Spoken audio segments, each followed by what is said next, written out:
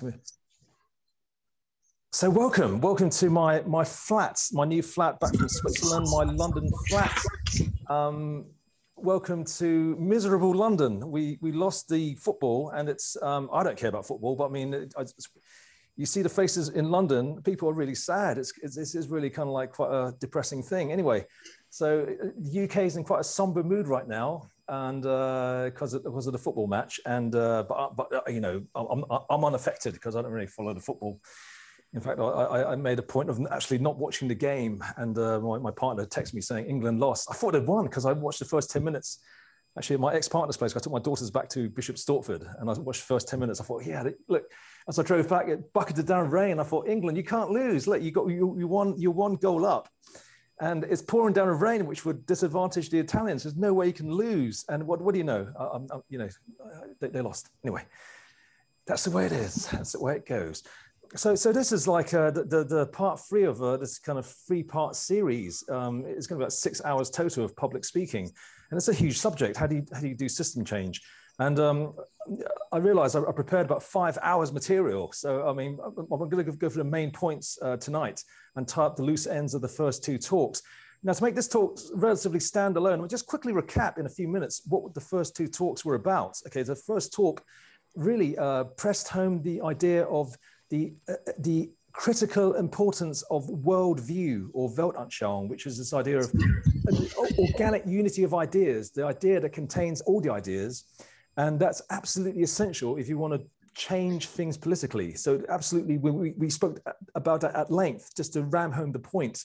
So it's not about an ideology or kind of like a manifesto or kind of like list of demands or even a kind of like, uh, you know, a whole political program. You need to change the entire worldview, including metaphysical and cosmological assumptions. We, we kind of really uh, made that point in the first talk.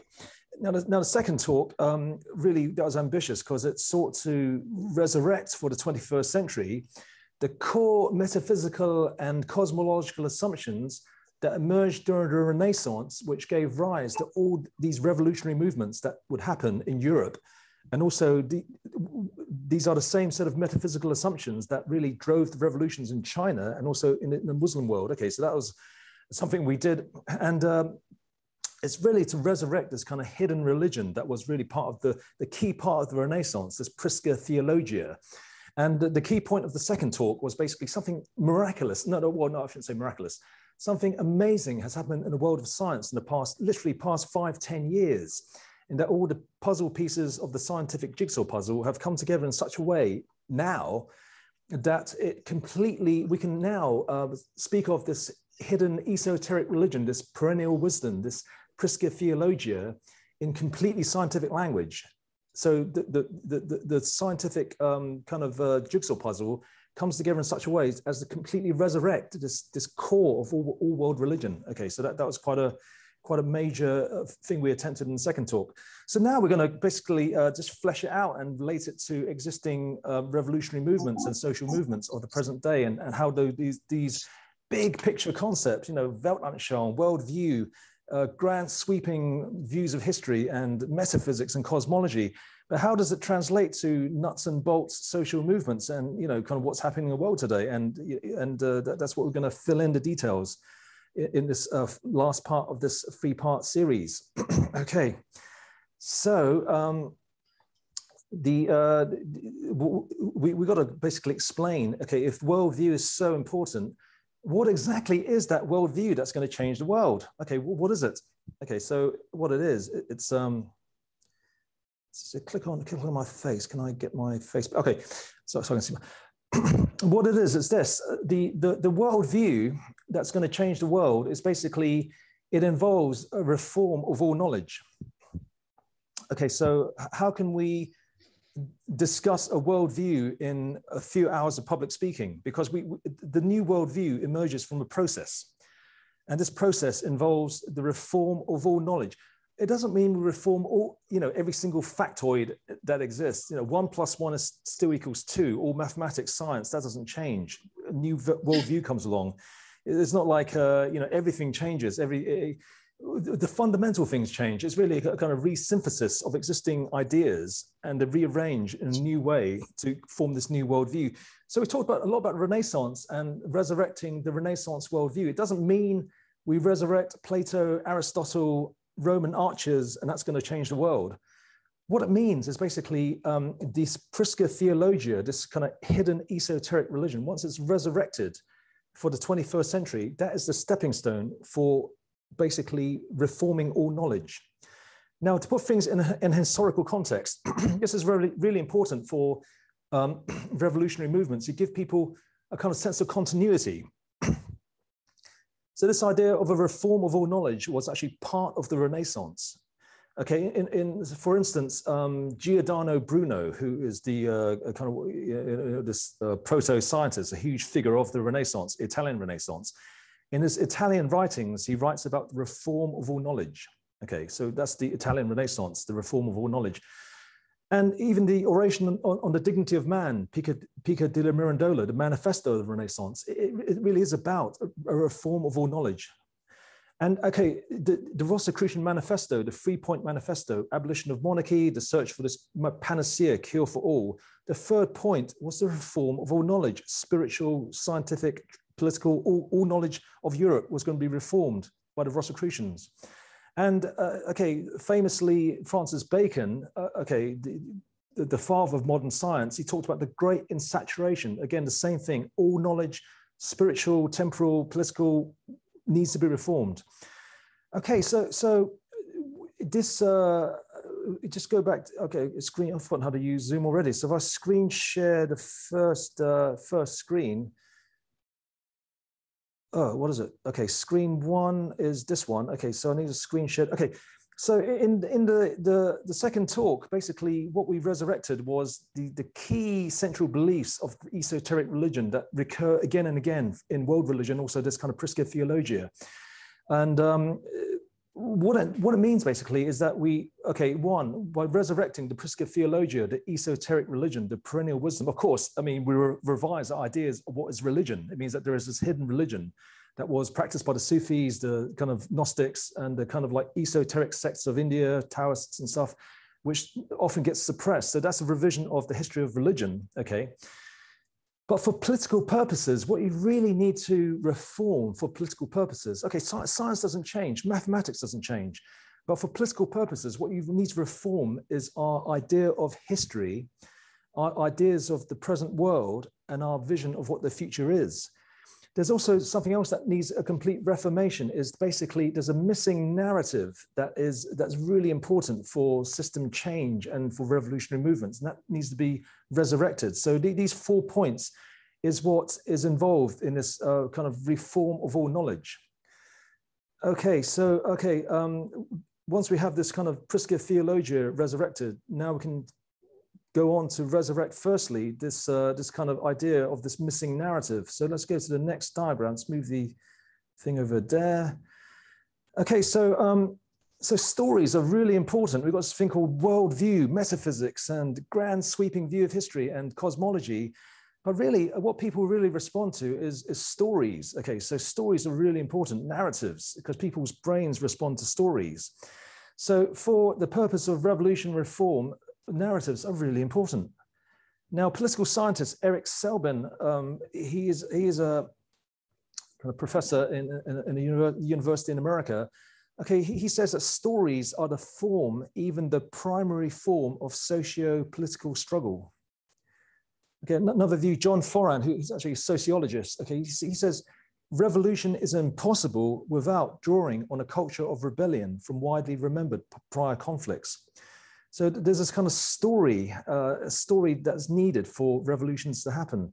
And also the idea of narratives identity, that, uh, this idea that in the fourth generation study of revolutionary movements, uh, they identified identity as being really key, one of the key factors in how uh, revolutionary movements form and why they become successful. And the idea that narratives are key to forming identities.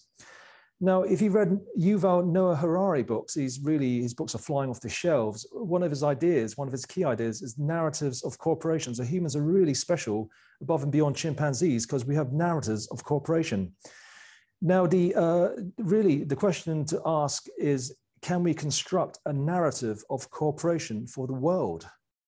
And we think that, that we can. And this is a question that political scientists and sociologists ask this idea of unifying disparate struggles all over the world, reconciling division. How can we somehow form a kind of universal um, political theory? Uh, uh, the, uh, Fredric Jameson talks about radical universalism. So, how do you do it, though? How do you do it? So, we're gonna we're gonna try and answer this question later on. So, so other thinkers, the missing narrative. Douglas Murray, um, the the kind of new atheist thinker, uh, he talks about Europe being in a state of existential tiredness, that the story has run out, that, that, a new story must be allowed to begin, but he doesn't know what it is. Adam Curtis, the BBC um, documentary maker, calls himself a, was really a left-wing propagandist. He, he says he's a propagandist.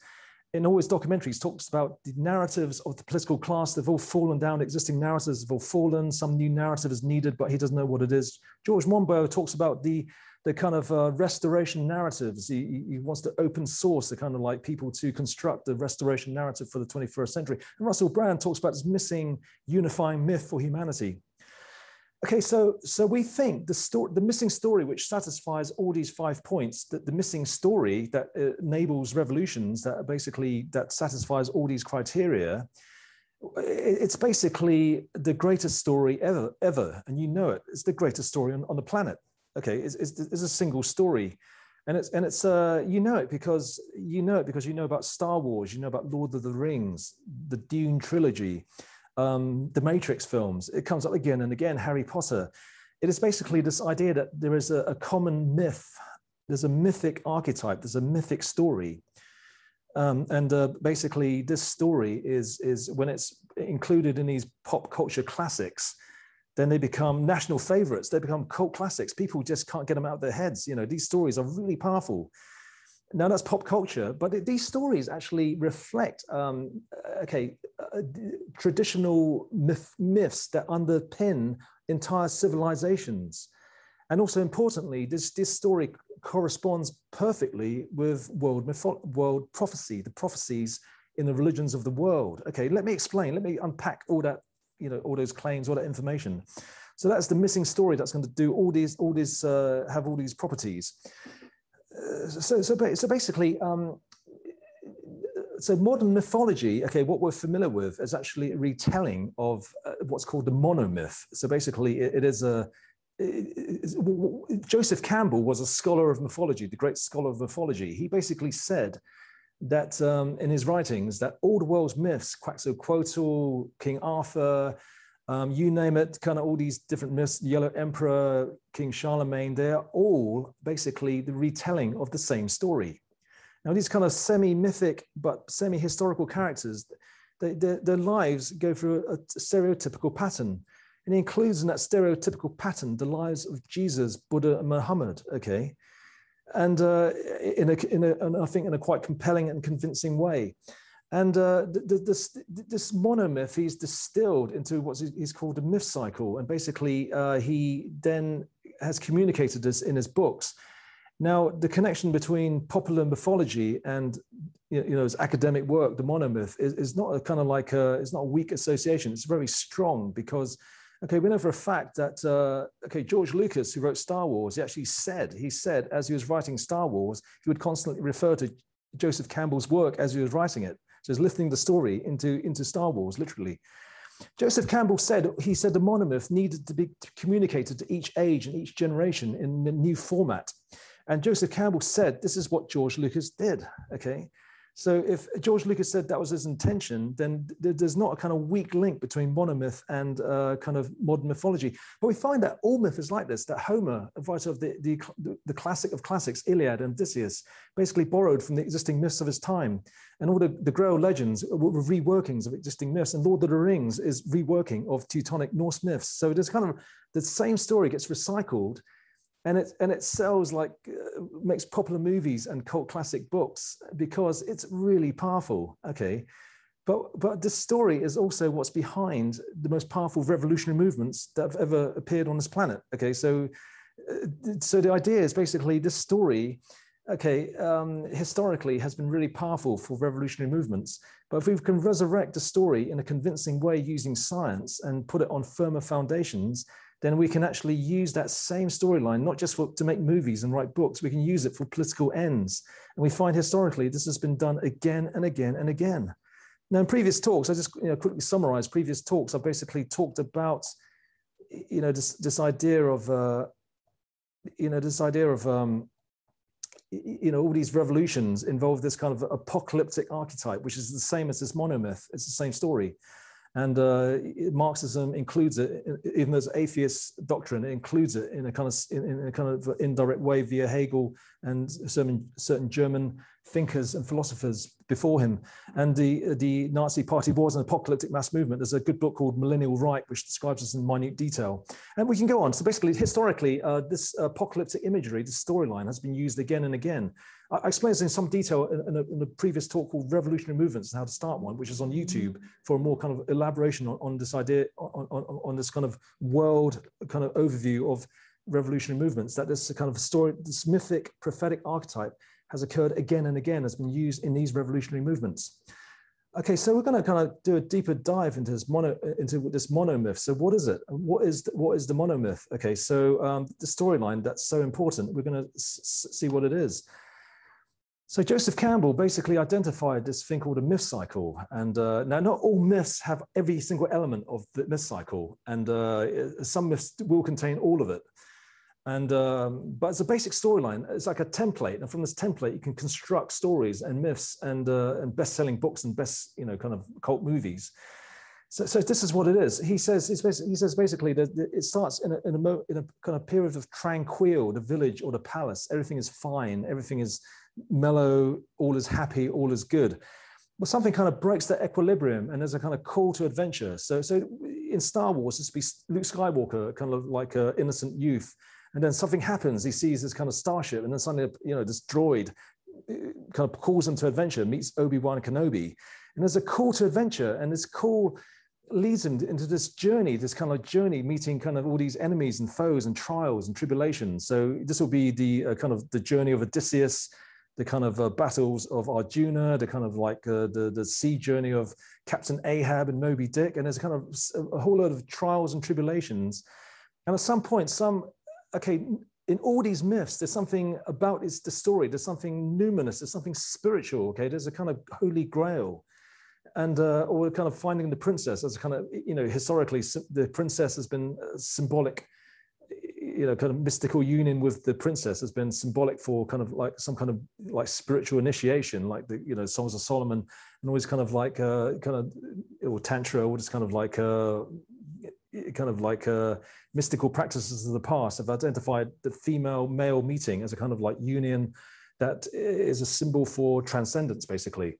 So Odysseus, you know, getting together with his wife Penelope uh, also fits this kind of template. Anyway, this kind of transcendent element, uh, which Joseph Campbell calls the attainment of the experience of the point who the circle whose point is everywhere, but whose circumference is nowhere. It's like saying the all in all, that there is this kind of all in all, you might call it God. And this, this myth cycle includes this kind of uh, transcendent experience. Hence, Jesus, Buddha, Muhammad, they all had a little kind of uh, mystical experience under the Bodhi tree, his 40 days in the desert, the night journey, etc. Okay, so this is absolutely essential. And, and I would argue basically that these cult classics like Lord of the Rings, Star Wars, and uh, Moby Dick, they have this kind of transcendent element. That's why, the, why, you know, Moby Dick, the greatest American novel ever written, without this kind of, uh, you know, kind of like allusion to the mystical, the transcendent, the kind of numinous, then they don't, they're not, be, they don't become uh, as powerful as they became, all these stories. Okay, so anyway, the, the, the journey continues. The, the Grail has returned to Camelot. So the, the, the prize is found, and there's a return journey to restore things to the natural order. So they have this kind of battle between forces of good and evil to attain this prize. But then you come back into Camelot and then you have to restore the village. You have to basically complete the myth cycle and the forces of darkness are defeated. The orcs are banished. Agent smith is killed. And then back to back to normal. So, so it's, it's, a myth cycle. And then um, camelot is restored. Excalibur is thrown back into a lake but at some point, King Arthur will return. So it's, it's, a myth cycle. Yeah, it goes on and on. Like you know, there's, there's nine Star Wars movies. It's, it's one generation after another generation after another generation. so um, so so that's the basic outline of the mono myth. And, uh, and okay, so, so it's, it's a story, and it's really a story of um, of uh, mythology, but but but mythology also connects with prophecy. Now, here's here's the really uh, powerful thing for revolutionary movements that really. Uh, we'll, we'll, talk about this a lot more later on, but the uh, the idea that prophet, the prophetic archetype is identical to the mythic archetype. It's the same story. Okay, how do we how do we understand mythology on the one hand and prophecy on the other? It's basically the same story, but projected on a planetary scale. So the, the Roman philosopher Sallustius said that myths are things which never happen, but they always are. But this, these things which never happened is like acts like a transcendent template, and these things which never happened, they actually manifest in actual life. So Luke Skywalker does, never, existed. You know, the, uh, the, kind of galaxy far, far away. That's all fantasy. But actually, myth, the mythic template actually manifests in real life, and uh, these uh, kind of real mythic heroes become like, um, you know, the, the, they become cult heroes of their culture, and their stories get retold as myth. Now, to relate myth to prophecy, it means that basically the prophecies all talk about the time when about global events. The Bible mentions the word earth 60 times, the word world 10 times, the expression whole world four times, global events, world benefactor, world renovator, the kind of uh, the uh, Zoroastrian prophecies, things on a global event, world avatar, etc. The Imam, the Mahdi prophecies, the Imam who will create a world state. Now, interestingly, uh, the, the, prophecies of Islam, Imam Mahdi, jihad and stuff, basically the uh, modern myth of Dune is taken straight from the prophecies of Islam. So there's a direct connection between modern mythology, Dune, and, and, and Muslim prophecies for the future state of the planet. Okay, so what we need to do, we need to basically establish the myth cycle in, in, in more, in more solid foundations for our 21st century revolutionary movement. Because people say, oh yeah, the myths, who believes in myths? And prophecies, who believes in prophecies these days? So we need to kind of establish this more uh, solid foundations. I'm going to go into um, kind of Jordan Peterson terrain, okay? So I'm going to go into kind of Jordan Peterson terrain for a bit, okay, for just a few minutes. Okay, I'm not, you know, you know, Jordan. I, I, I sometimes criticize Jordan Peterson, but he says lots of sensible things, and in a sense, he's kind of he's kind of preparing the way for the kind of things I'm talking about because you know, you know he, he's very open to mythology and Joseph Campbell and even psychedelics. He talks about this in, in his in his discussions. So even though he's very against system change, he's very his recurring theme of his message is you shouldn't try and change things because you know you only make make things worse. But but we believe that basically at the very heart of the monomyth, which he talks about a lot, and uh, uh you know is essentially revolution and, and, change. Okay, so this is kind of uh, Jordan Peterson terrain that the idea that the myth cycle is represented in the normal human life cycle. Okay, so basically, these huge myths resonate with us so much because they actually reflect our normal lives.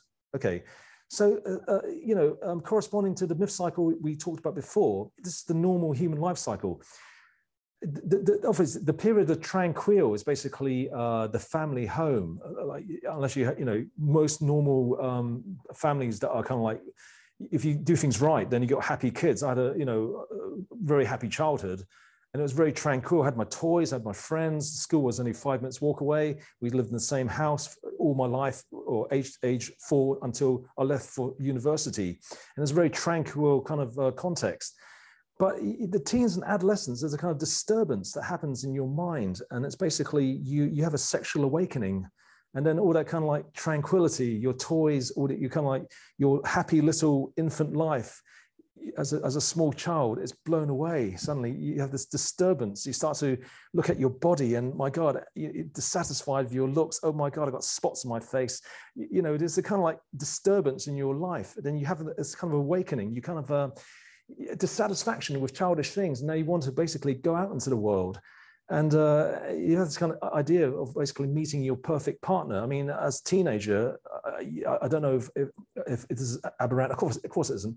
I mean, at 16, 17, 18, all I could think about was sex and meeting girls, basically. That's the main thing, you know, at that age, uh, right into your kind of mid 20s, maybe, maybe uh, uh mid 30s. Okay anyway, anyway, so you leave home and basically have the, you have this disturbance where you have to basically kind of find your perfect partner. You have this image of yourself, but you have to kind of make yourself to uh, some someone you think in your mind this is the man i want to be or the woman you want to be to be good enough to meet your perfect partner. And it's a journey. I mean some people find it easy. Some people just you know meet the girls uh, in the early teens have their first family. By the time they're in the late teens or in the second family okay uh, it wasn't so easy for me okay so it really was and for a lot of people it's a struggle it's a real struggle to basically make yourself uh, you know, I had this idea of going to university. I need to basically, you know, uh, start a computer company. Down this idea of uh, figuring out artificial intelligence and, and, figuring out how the brain works and creating artificial intelligence. Steve Jobs was my hero back then in my late teens. And so you go out into the world and you go on, you go out into this adventure. Okay, it, it really is an adventure. You basically you're out in the wide world. You leave university, and it really is something. If you if you um, really aim for high things, then it is kind of like a road of trials. Then eventually you get there. I mean, it took me some time. It took me a long, long time because, uh, you know, I, I was kind of like a slow developer. And then eventually you meet your perfect partner or you meet people and you have children, basically. Okay. And then after that, um, okay, someone's, someone's I was wondering if someone is, uh, okay, so, so after that, um, basically uh, you have this honeymoon period and basically all is well and uh, you, you kind of you, are having kids now you're setting up home. So it's like the return journey. You're returning back to your parent state and you set up home and it's domestic bliss and basically and then kids come out and then the kids grow up and it's ideal and it's that kind of so back to square one again so the human life cycle so that's like a kind of a, perfect image of the myth, myth cycle. Uh, that's, that's what that's the basic idea that the uh, the myths aren't, aren't just saying uh, telling talking about mythic heroes. They're talking about real life. Okay, so actually. Um, now we're going to put some more firm foundations because in the second talk we talked about very cosmic things, uh, kind of universe on a grand scale. You know the entire universe as being purposeful universe being uh, kind of like fractal as being kind of um, mathematical illusory all these kind of mystical ideas. But really uh, it, it's the myth cycle it is the monomyth that really brings it down to earth. Okay so uh, we, this something we're going to fill in now is basically that the myth cycle and the human life cycle are reflections of the cosmic cycle so this is basically a very simple idea. If the universe is fractal, okay, like the Mandelbrot set and the, the Mandelbrot snowman, that's got infinite number of Mandelbrot snowmen in the Mandelbrot set. We're like the Mandelbrot snowman. But the thing is, um, life is a process. Okay, if life is fractal, then basically that fractal is a process, then that process should be reflected in our lives. Okay, so it's not a static thing, is it? Okay, so the idea is basically um, the human life cycle reflects the cosmic life cycle. And this is also reflected in the myth cycle. But the mythic hero doesn't just set, set up home and have kids. He basically creates an entire civilization or a new age or a new Camelot. Okay, so that's the basic idea. Now, let's go through this fairly quickly. Okay, the, the universe, we kind of like uh, talked about the universe being cyclical and the idea of this kind of a time inversion, okay, that, that came from results in quantum mechanics, uh, string theory, and loop quantum gravity. Let, let's, let's go through this in more detail okay, okay, this diagram is supposed to represent one time cycle. So, so this basically, this is like the Big Bang here. Okay, I'll shake my cursor around here. And this is kind of like expansion of the universe and uh, matter just expands everywhere. Now this kind of, you see this kind of, uh, this side of the diagram, it's basically just things coming together. You see kind of like it comes together into this, this circle here, where all matter has basically converged to like a single life form like uh, if we go back to this diagram here, um, this idea of emanation from a point, a human being emanates from a fertilized egg, and all those cells divide and split up, and then things come together, bones, sinews, nerves, and the skin bind us together into a human being. That humanity begins from these points that spread out into the universe, into onto the planet, and then you know through these kind of like tribes, confederations, kingdoms, kind of trade blocks, etc. The world is becoming one place. It's a very disharmonious world right now, clash of civilizations and kind of like all these kind of people in kind of uh, uneasy juxtaposition. But the idea is eventually it will all become one unified humanity. That's the dream, isn't it? That's the hope. And so, uh, fractally, that's the idea that this point explodes into the universe, and then you have this kind of, uh, you know, matter becomes molecules, macromolecules, biological chemicals, uh, you know, um, biochemistry becomes life, DNA becomes cellular animals, multicellular animals, kingdom, tribes, kingdoms, etc., trade blocks, one world orders, galactic animals, galactic beings, you know, multi-galactic beings to the entire cosmic Christ, etc. So, so the diagram here is supposed to represent the convergence, that convergence on a cosmic scale. Okay, so that's the Big Bang, and that's the eventual coming together of the cosmic Christ. And because uh, in the last talk we talked about this time inversion, uh, basically when the cosmic Christ appears, then that is the time flip. If the Big Bang was the big, big bounce, then the, basically uh, the uh, the next epoch is a mirror image of this epoch. You know, this this epoch involves all matter converging to one one cosmic being. Then the next uh, kind of uh, after that, through mirror symmetry, because it's a mirror image, then that unified thing becomes dissolved into separate separateness. So this is a recurring myth that um, you, you, know Marduk and uh, that uh, Babylonian myths that the kind of like uh, the, the kind of like the the kind of like I guess the female deity whose body gets chopped up and becomes a universe. A recurring uh, idea that the, uh, the, the, the God becomes, the God man becomes self-sacrificed, and then the kind of body of God becomes a universe, and the universe becomes God again. That's a recurring thing also in Hindu mythology and Hindu metaphysics. So this idea that then the, the other side of this time cycle involves the dissolution of the completed cosmic Christ into this kind of like uh, into little bits, and that, those little bits get sucked into back to the singularity, back to the big bounce for the next cycle to begin. So the next cycle, big bang, big uh, big bang, big bounce, the big bang, and then uh, the, the, cycle begins again. So basically, that's the same diagram, but in a cyclical form. Now, if we go back to uh, our, our, our diagram here, it means that basically that cycle is represented in this myth cycle. It means that the cosmic cycle reflecting myth cycle and, and life cycle means that that's the, I guess the before the Big Bang singularity, all is really non-dual, it's non-duality, all is one, all is peace. It's the cosmic egg. And then it, basically explodes into uh, this kind of tzimtzum, the contraction. Basically, that which is oneness has become fallen into duality. The demiurge has been created, something which is not of the totality of God has emerged, and that explodes into the universe. And then eventually, that universe becomes God again, and that involves this cosmic battle. So that, that involves this kind of like the, the the struggle of evolution, the dialectic eventually um, you have this coming together process to form a oneness of the universe. And then that, okay, so this is the time inversion, and this is the emanations of God. The oneness of God emanates, breaks up into little bits, and those little bits get sucked up back into the cosmic egg again, back to this resting state of, of non-duality.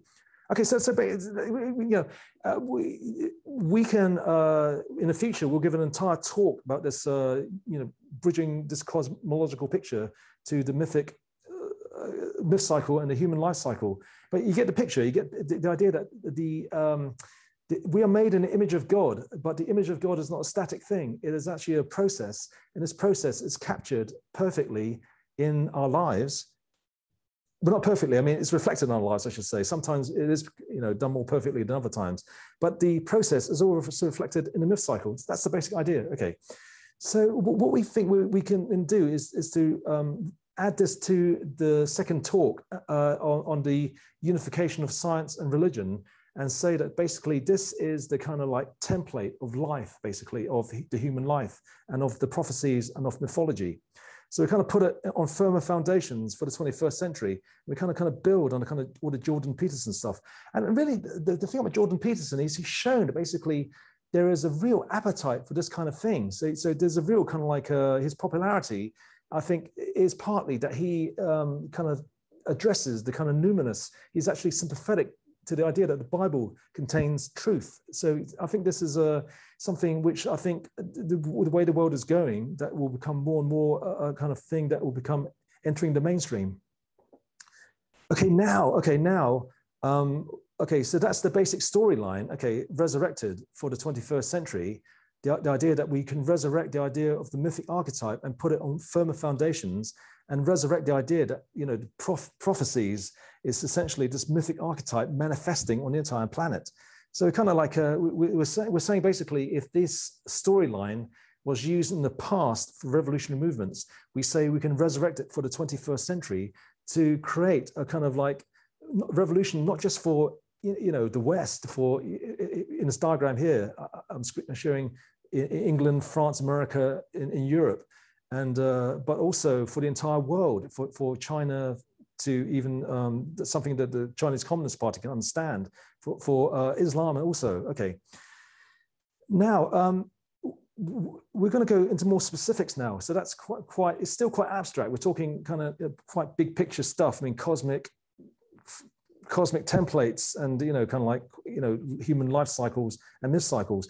We're going to kind of like, uh, like, uh, make it more concrete and actually really go into uh, more detail about what revolutions involve. Okay, so um, in past talks we've talked about how this uh, you know prophetic mythic archetype is incorporated into these past revolutionary movements. But we're going to do a deeper dive into all the different ways that system change happens. Okay, so, so this diagram here, the many paths of system change, we're going to relate this kind of the abstract discussions we've had so far into more concrete historical examples that we can then use for templates to do system change for the 21st century. So make it more kind of like, um, yeah, make it more concrete, I suppose, by using historical examples.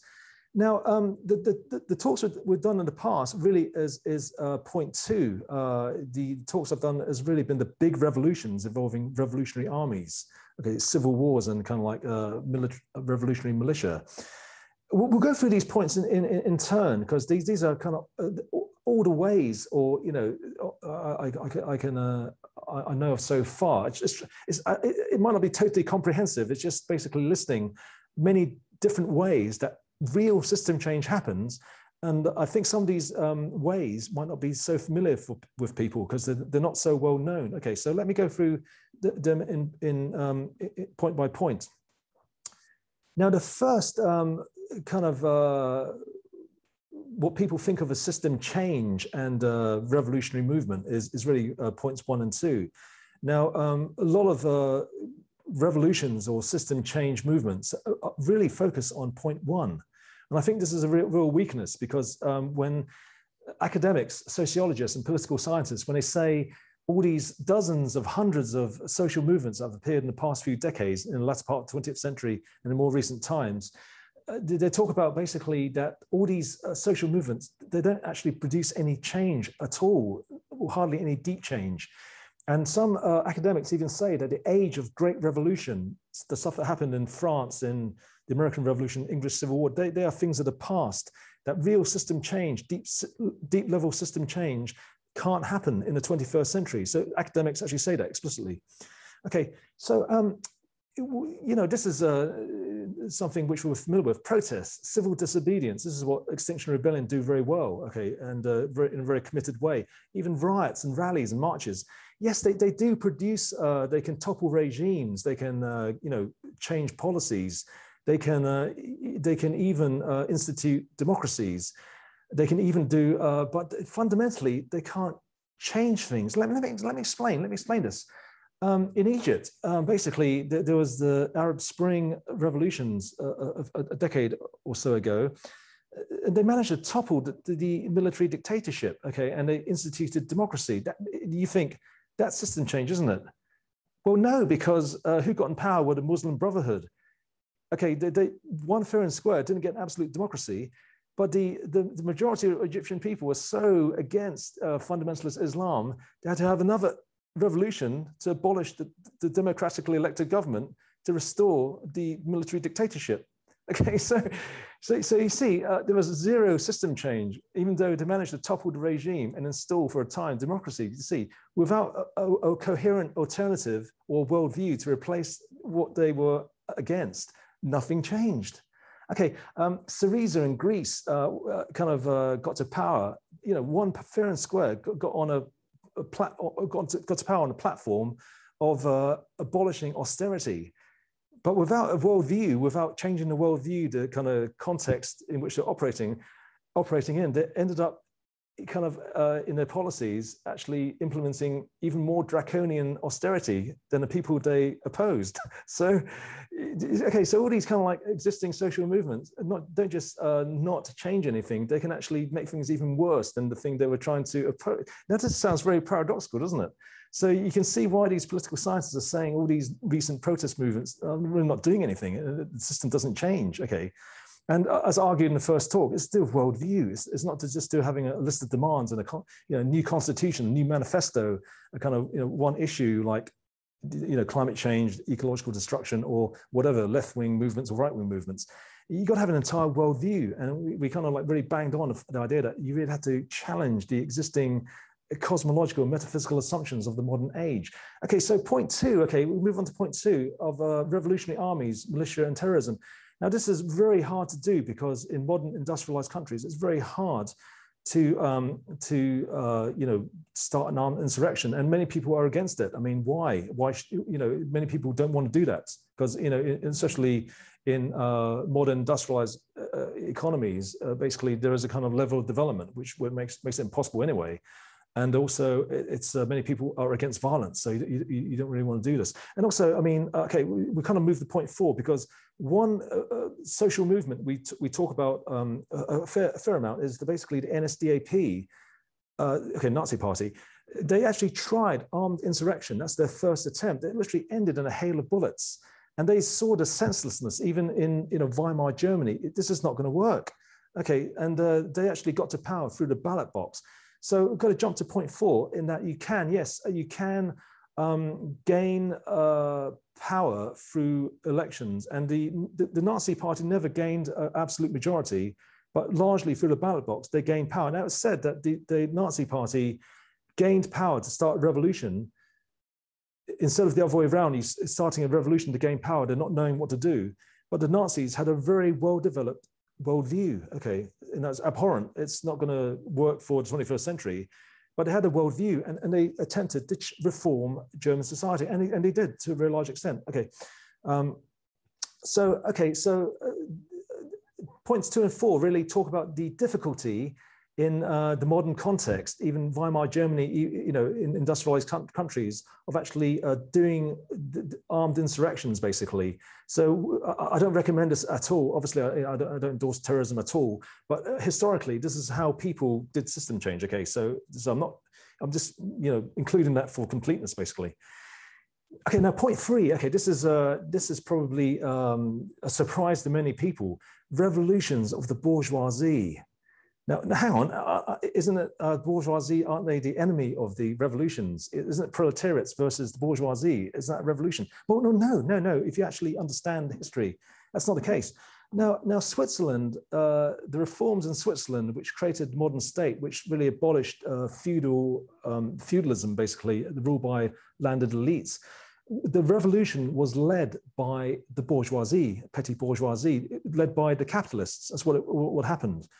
Now, Karl Marx studied and really was interested in the revolutions that happened in early 19th century Switzerland. And in fact, in Das Kapital, it writes at length about the watch, Swiss watch industry and, and the, how, how it worked. But basically, it was uh, basically these uh, artisans and uh, kind of people involved in Swiss industry, which really spearheaded the revolution that really brought about um, modern Switzerland. And, uh, you know, modern Switzerland is not a bad place. Now, Karl Marx really uh, admired these people. He, he, now, he learned three things. He wrote that he learned three things from studying the Swiss revolutions. He learned, okay, firstly, they came from the middle classes. And uh, okay, he also learned that, uh, okay, he learned that they came from the middle classes and they were able to do the revolution because they had resources, they were educated, they had capital behind them. Uh, okay. Secondly, he was encouraged because he, he saw that revolutions can happen in, in, the, in the 19th century context. But thirdly, most importantly, he learned that people get involved in revolutions not necessarily to be against something, but people do revolutions for something. So it's not rebelling against the previous uh, feudal order or whatever.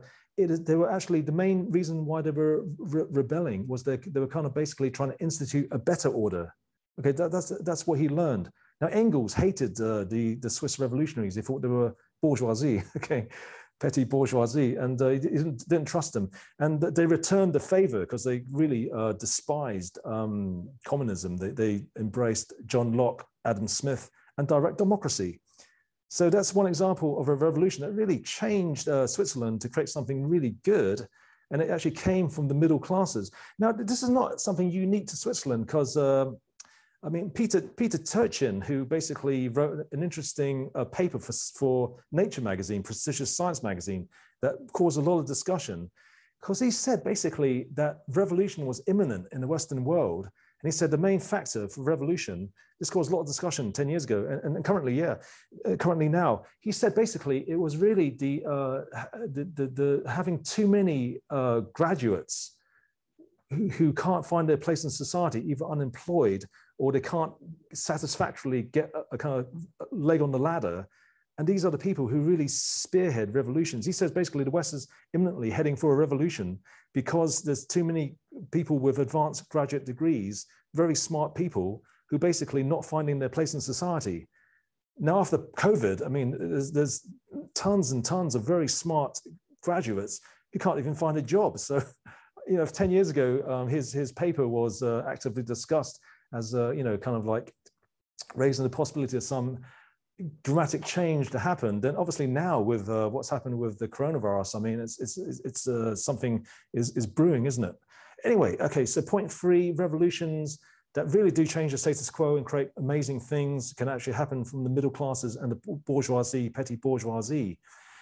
Okay, we, we discussed uh, revolution via the ballot box. It is possible, but the, the idea is that you need a worldview, you need a plan in order to, to do it. So even like Syriza get voted in and do perversely, you know, even worse than what they were rebelling against. And uh, we, you know, we, we discussed the, the Muslim Brotherhood and the, the, the, the Arab Spring revolutions in Egypt. Okay, now, now, now, now point five. Okay, this is um, this is a very important point that a recent book called A Nordic Secret. Okay, uh, very good book. I mean, the two authors, um, they, they, are now been um, promoted to the Club of Rome for their efforts.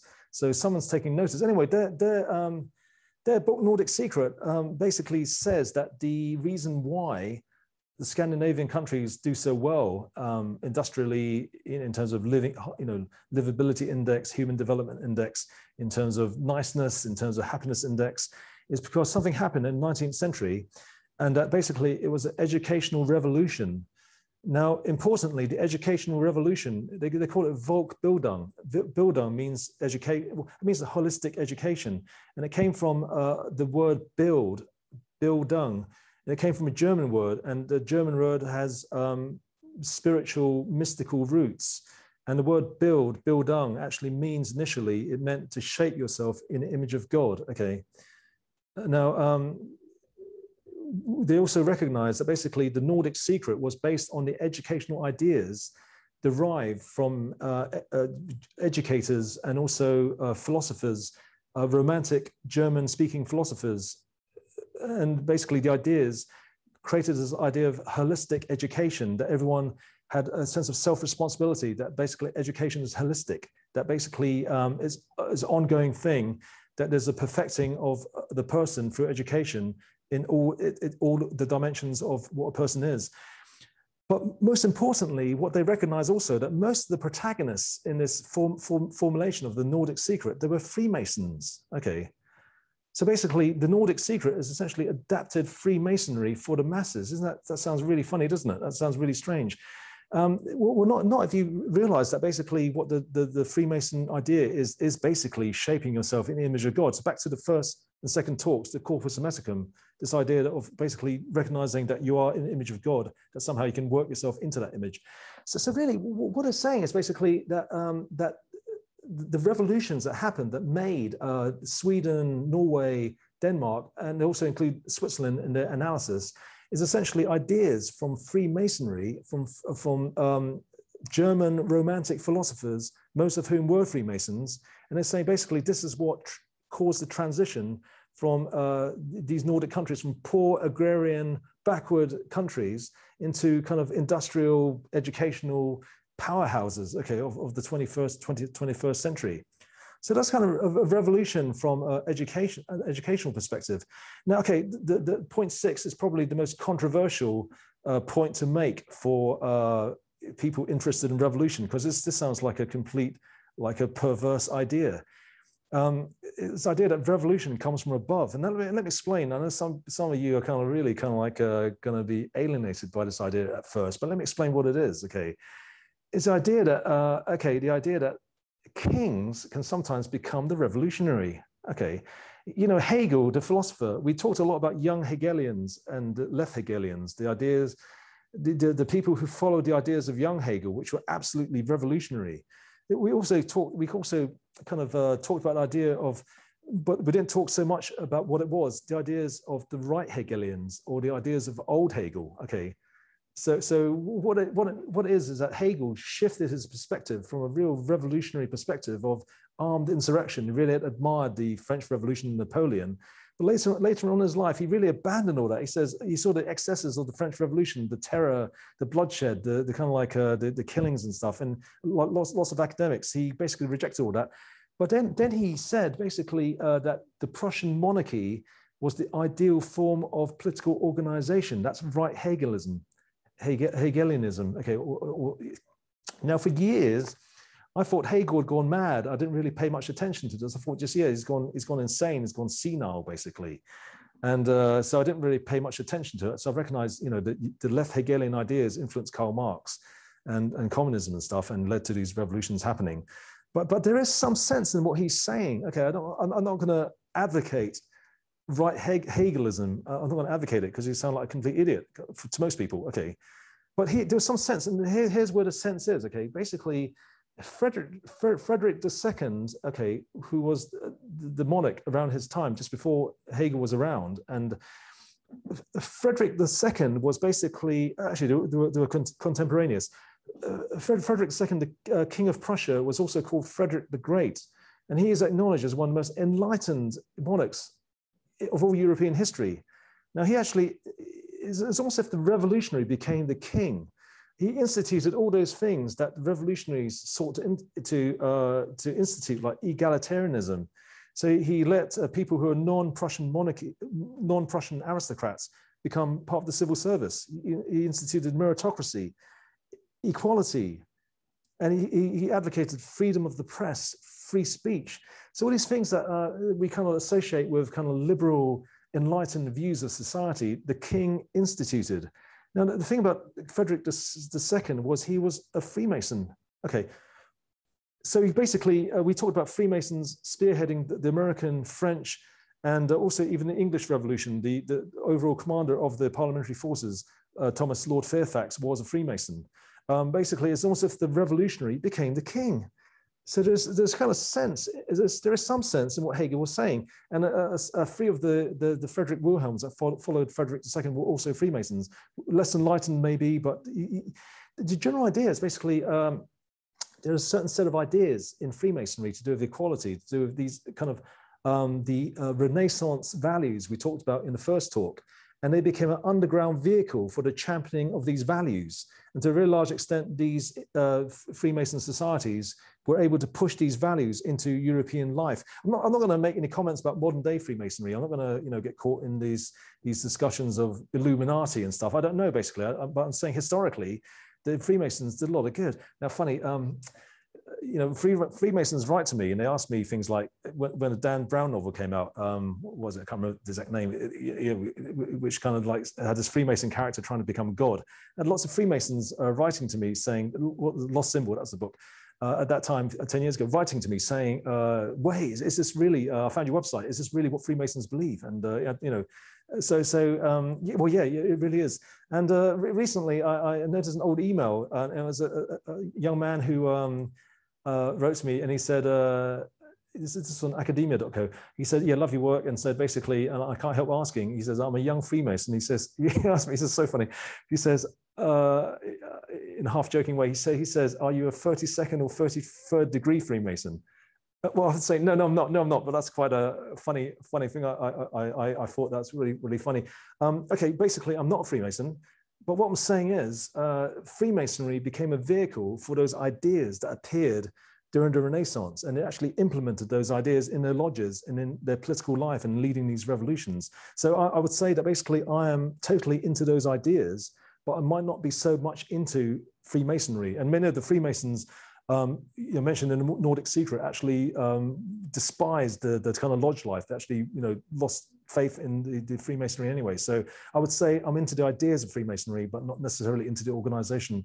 Um, it's, it's, right for some people, maybe not right for me. Anyway, that's uh, that's another thing. But anyway, uh, in all these kind of like uh, you know points one to six, okay, there, there is a recurring theme and it's basically to do with uh, worldview. Okay, that these the Nordic secret and uh, the, the idea of revolution above, they were basically implementing. They, they happened to be Freemasons, but they're implementing a worldview that emerged from the Renaissance. And uh, th th these points also reflect what happens when you don't have a worldview, when you don't know what your revolution is going to cause, and then basically you're in trouble because what you might bring about is really um, something you might not like, like the you know the Muslim Brotherhood in Egypt. The people really were so against it; they had to start another re revolution to remove democracy and re remove the Muslim Brotherhood. And so the idea is basically that yes, um, worldview really starts these uh, kind of like uh, the worldview from Renaissance really starts all these revolutions.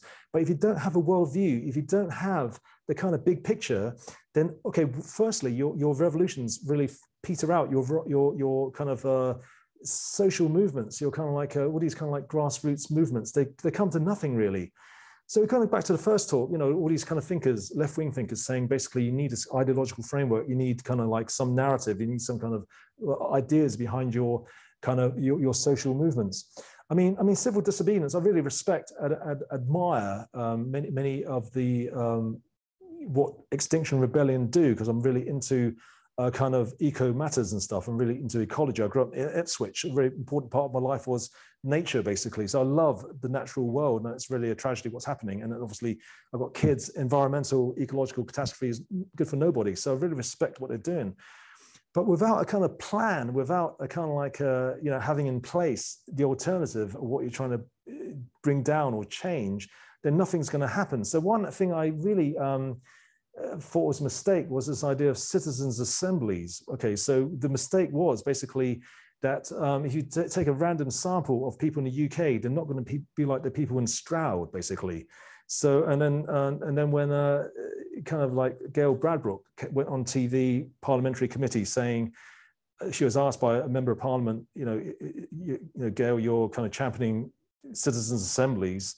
But if the Citizens Assembly doesn't give you what you want, are you going to go back to the streets and protest? And she said, yeah. Well, the thing is, if you don't have a plan, you leave it to the Citizens Assemblies. And uh, if you're not going to abide by the decision of the Citizens Assembly, then why should anyone else abide by the decision of the Citizens Assembly? So it was basically a non-starter. So I'd, say basically without a plan, without, without kind of like uh, something in place to put in that's specific, that's going to get you what you want, and that's actually you know comprehensive, they're basically like the kind of Arab Spring revolutions, like Syriza. Basically, you're, you're not going to cause any change whatsoever. And it's futile kind of like exercise. Okay, so um, okay, the next next uh, just going to deep dive into uh, deep dive into oh, oh time's getting on. The, the, revolutions of the United Kingdom. Okay, so so um, okay, sad UK who've lost the recent football match versus Italy. I mean, it's a really um, seriously. I walked to the post office yesterday. People, I could see people's faces were long. You know, really, people were sad, really sad. I live quite central, so I live quite in central London. So walked to the post office, and it's you know right near Euston and King's Cross, the uh, post office depot, and I, and I, saw the England fans going to get their trains back north of England. Yeah, and uh, my God, it was like it's like. Uh, you it's like tragic. It was like, like really like a like a funeral. It was like you know people were just depressed. Oh my God, I, I don't know football. I mean, some people it means a lot to people. Anyway, the revolutions of the United Kingdom. So we're going to do a deeper dive into England. Okay, so to my American friends, and uh, you know, this is just uh, focusing on UK, but it extrapolates to everywhere else. So, so basically, we're, we're going to just go into more detail into England. Uh, we do, we this fairly quickly because uh, time is getting on. Um, okay, the, the, revolutions of the United Kingdom. Okay, basically, um, the 16th century was where, where, it all happened. Where basically you had you know, feudalism, and then you had a kind of rule of monarchs. But then you had this kind of uh, glorious revolution, English Civil War.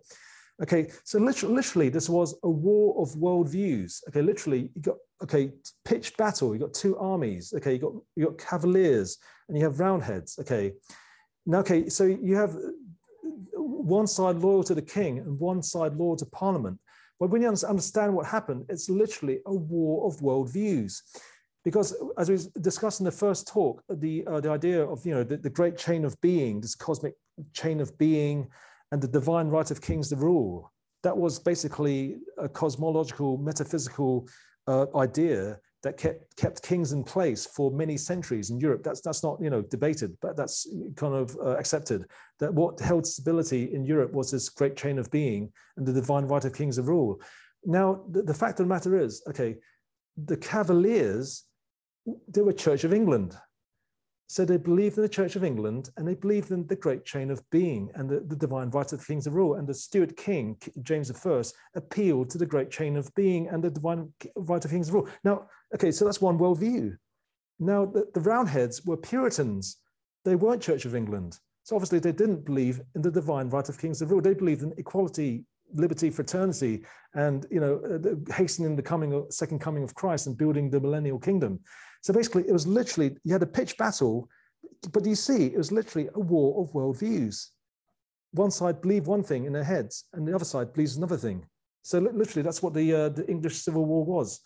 So the New Model Army were all Puritans. They were all kind of basically uh, apocalyptic Puritans. Cromwell as well believed in hastening the coming of Christ. That's, that's what he thought he was doing. And, and Thomas Lord Fairfax was a Freemason. So um, there is this kind of heavy Freemason aspect to the revolutions in, in uh, United Kingdom, also obviously in America, George Washington, who was actually introduced into Freemason by the Fairfax family, uh, a branch in, in America.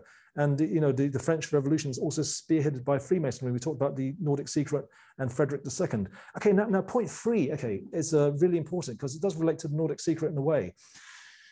Uh, uh the um, Italian um, noted Italian historian he's really good. Um, Pablo Paolo Rossi. Okay, he wrote in his book uh, the the quest for the universal language. Okay, he wrote uh, basically that 16th, 17th, sorry, mid 17th century England was influenced by massively influenced by three things. He said basically those three things were okay. Firstly, uh, the intellectual life of 17th century uh, England was influenced by by three things. They were okay. Francis Bacon, okay, hugely influential his uh, New Atlantis was really uh, the, the inspiration for um, the Royal Society. And many people say even the, the, the founding fathers of America and uh, the people who first settled America, in, you know, they were basically, they read his New Atlantis. And uh, so Francis Bacon hugely influential. Okay, the second, the the, um, the, the scientific method that emerged and these enlightenment values of rationality and reason and empiricism, basically, uh, also related to Francis Bacon's work. Now, now, the third factor he identified was a guy called Amos Comenius. And you think, what, what is that? I mean, we were never taught this in school. Who, who is who the hell is Amos Comenius? Well, he is a, a, a kind of what is uh, Czechoslovakia now, but it was kind of Holy Roman Empire. He was basically an educator. And he was one of the people who um, brought this idea of pan-sophism to England. And pan-sophism is an educational concept. It's the idea of that all things should be taught to all people. So he wasn't, wasn't educated. He's, he's credited with really popularizing the idea of, of having diagrams and textbooks. We, we take that for granted, don't we? Textbooks have diagrams in it. But he systematized this in, in 17th century uh, England. Well, anyway, he, his, his uh, mentor was, um, was actually a very famous Rosicrucian. So he was a Rosicrucian. His mentor was, was a very famous Johann Valentin Andreae, who claimed to write the Rosicrucian Manifesto in, in the latter part of his life, you know, close to his death. Uh, he, he, had to say it later on because uh, you know, one of the points of the Rosicrucian Manifesto was abolition of monarchy in, in a Europe which was ruled by monarchs. So anyway, it, it is plausible that his mentor wrote the uh, Rosicrucian Manifesto. But anyway, Amos Comenius, there's another massive influence on 17th uh, century life. And in a sense, the Nordic secret, this idea of, uh, you know, this kind of uh, all things to be taught to all people, this kind of a holistic education was something that actually penetrated into England as well. So you have these amazing ideas, but they need to spread. They need to spread through education, not just through Freemason lodges, but through pamphlets and books and stuff. So Amos Comenius is credited as a really important factor by Paolo Rossi. Now, okay, we can we can go on to include these really uh, these are these are all mystical um, apocalyptic movements and religions that emerge in the 17th century. levelers, Quakers, Shakers, Ranters, Seekers, Diggers, Fifth Monarchy men. Okay, Quakers, Shakers, and Ranters, they basically quaked and shaked and ranted because they were receiving the Spirit of God. Okay, now, now Quakerism, when, when you, know, uh, you know, like the book Moby Dick, most of the protagonists are Quakers. Uh, not, not now, but in, in historically, they refer to each other as thee and thou. Uh, you know, you see the movie Moby Dick, it's thee and thou. It's like in India, they say namaste, which means I address the God in you. So when they say thee and thou, they're like addressing God. So it's, it's, a very kind of mystical idea that they're addressing the God within. So, you know, early Quakerism was far more mystical and, and also apocalyptic. They believed in the imminent coming of Christ. Now, the, the, the mysticism and apocalypticism of, of, a few generations later kind of got pushed more in the background and kind of disappeared. But at the beginning, um, basically the Shakers, Ranters, and Quakers were quaking with the Spirit of God. That's why they're given these nicknames. They really were. And the Seekers were seeking after. Many Seekers became Quakers, and uh, many of the Quakers became Ranters. There's a kind of intersection of ideas. And the levelers, diggers, and the, uh, levelers were hugely influential with the New Model Army. Men of the New Model Army were also levelers as well.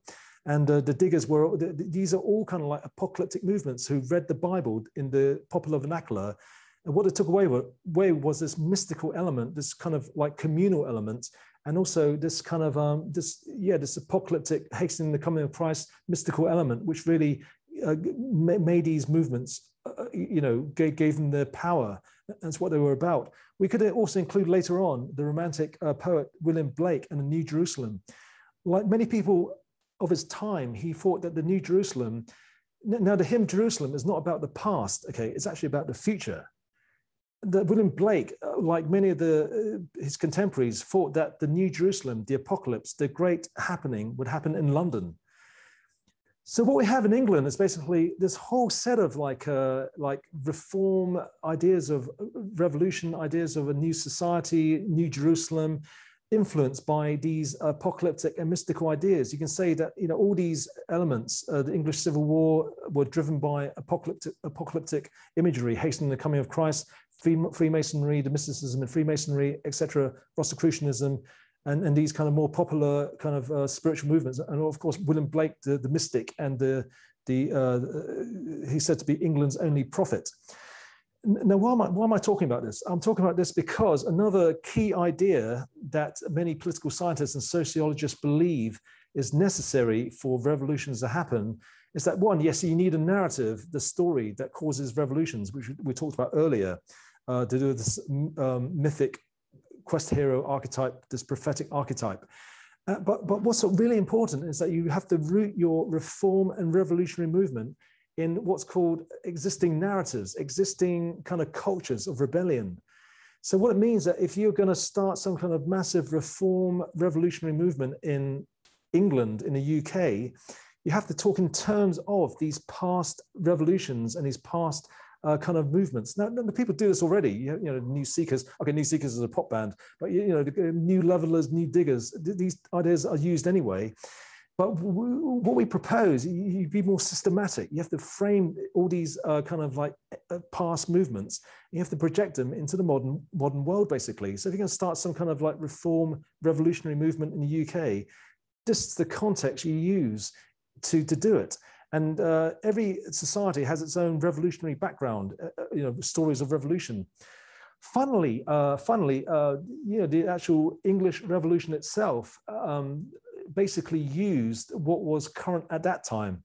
So while the English Civil War or Glorious Revolution was happening, in their propaganda, they used this idea of the, the Norman yoke okay, we are we're like Saxons rebelling against the Normans. They use it in their propaganda. So they, they, they dredged up past struggles of rebellion against the Normans for propaganda purposes to create a, revolutionary narrative to, together with the apocalyptic narrative to drive you know, the, the, the aims forward.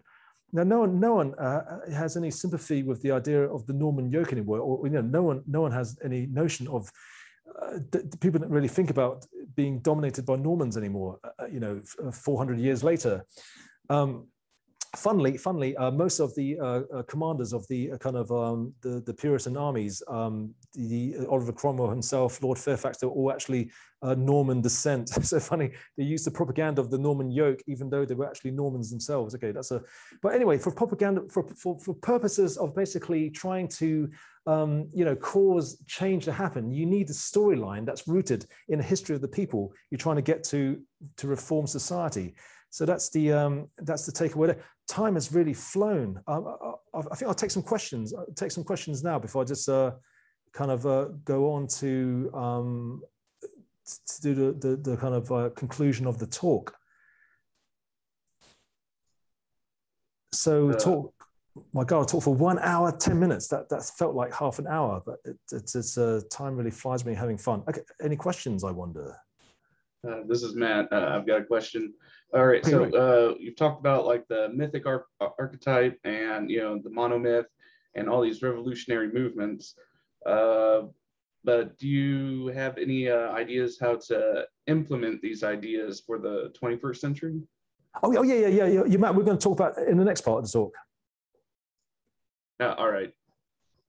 I mean, it, it is, it is, uh, you know, the, the actual. I mean, I mean, really, really, what we've done is really talk about the past. Really, I mean, I mean, okay, the, the four things we need to the reform of all knowledge. Okay, science stays the same, mathematics stays the same.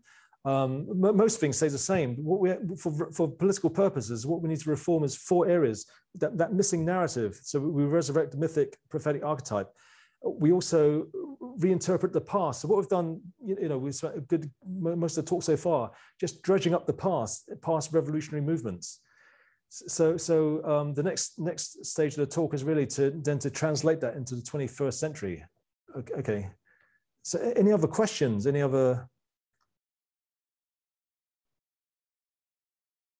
Okay I, I, think i think we just basically roll on and i think just basically roll on to the next part of the talk. Okay so uh, okay so so um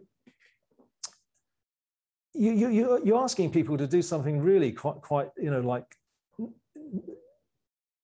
maybe slightly risky and also something really hard to do. And uh, the advantage of having the uh, kind of having your kind of like um, I guess movement rooted in the past is that it gives people a sense of familiarity. And also, um, okay, okay, in terms of implementing this for the 21st century, it gives you direct blueprints of what happened in the past. Okay, we're not going to like, uh, you know, start a new model, new model army for the 21st century and you know march around England with pikes and kind of iron helmets. You know, we can't extrapolate from the history to the modern world in, in that sense. But we can really take these ideas, especially the educational ideas, especially the kind of like uh, the kind of um, you know taking tradition and actually appealing even to Freemasons and actually um, to uh, to people who respect tradition and maybe are suspicious of change. Now the thing is, the thing is, the way the, the benefit of this way of doing things by rooting things in the Renaissance and what happened with the uh, the revolutions of the past, the English revolutions, the French revolutions, etc. What happened in Scandinavia and Germany, is that okay? I think the crucial thing is that the the Great Reform is not seen as left wing or right wing. Okay, we'll talk about this more later on in terms of reconciling the divisions of modern society. But the, the thing is, if you root, root things in terms of um, the English Civil War, what happened in the 17th century, you make conservatives happy because basically no conservative actually, you know, uh, wants to conserve or likes, is, is, they're not basically advocating feudal monarchy, are they? So when, when, when you have conservatives, what they want to conserve, what they like is what happened after the English Civil War, etc. All these reforms that happened after the Renaissance. So you kind of make conservatives happy because you're basically saying to conservatives, you're saying basically, look, these are the roots of what you hold dear about England, about America. This is what Amer made America great. This is what made England great. What made France, Germany great. This is what can make, you know, make America great again. to, to borrow that expression. I mean, so so okay, you kind of make the conservatives happy, but also because you're really talking about revolutionary movements and you're talking about the, the origins of the left wing. You're talking about this is what the left wing was originally about. Um, you know, some people uh, think I'm a left wing. Uh, you know, quite frankly, I think the left wing today is is in a dismal state. I'm quite actually embarrassed to be associated with the left wing as it is today. No, really. so people think I'm left wing because I talk about social reform and kind of like revolution, revolutions and stuff. But I think I think that the left wing is in a terrible state. And I think uh, by recapturing the actual essence of what the left wing was about, by going back in time, you you reconstruct the left wing for the 21st century, its values, what, what actually made it tick. So I, I, think I think the the real revolution, that real movement that can actually succeed for the 21st century, is that something that can actually incorporate left and right. Okay, so that's a uh, that's thing I'll say about the um, this little historical analysis. Okay, so we got we got uh, we got certain things in place. So now we're gonna that's the analysis of the past. So um, a very good uh, quote is whoever whoever controls the past controls the future. Whoever controls the present controls the past. Now, we don't control the present, but what you can do is you can change people's ideas about the past. So the past is really important. If you can do that, you can shape the future. Now, okay, now we're going to basically talk about the present and basically how do you now um, basically um, uh, turn these ideas into a, a, a social movement. Well, well, firstly, uh, it involves communi- communicating these ideas. So social movements happen on an individual level. So there's a process of communication going on. So in the same way, the Renaissance started from an epicenter. It was, it was basically a couple of people. It was one person, in fact. Okay, Marsilio Ficino translated all these works, um, including Corpus Hermeticum and, and uh, Pico della Mirandola evangelized these works. And people like Giordano Bruno. You see, from an, an epicenter, these ideas spread and they literally changed Europe. They changed the world. But it took hundreds of years. You had the Gutenberg press. You had basically people traveling all over Europe, especially uh, stonemasons who were like elite workers who, to spread these ideas around. But now we are in the 21st century. We have a lot more than the Gutenberg press. We have, you know, like right now, I'm, I'm sitting in my my front room. I'm talking to 10 people all around the world. Okay, so we, we can actually do things on a far bigger and far, you know, in a far faster way. Okay. So, so really, um, the, the, the social movement necessarily involves a kind of process of communicating these ideas. And then basically the idea is basically these ideas need to be implemented in social uh, policies and political, policy, you know, political ideologies. And, and, and these ideas have to gain power. But essentially what what's absolutely essential is that the, these ideas need to communicate to the, the minds of modern people. So what, what the what the worldview needs to do now, it needs to basically, it needs that the worldview needs to articulate the will of the age. So we talked about the past, the worldview now has to interpret the current, the current times, basically. So the problems of the world, the issues of the age, basically, you, you know what they are because you you um, you do a, in your, your head a kind of like summary or kind of like an analysis.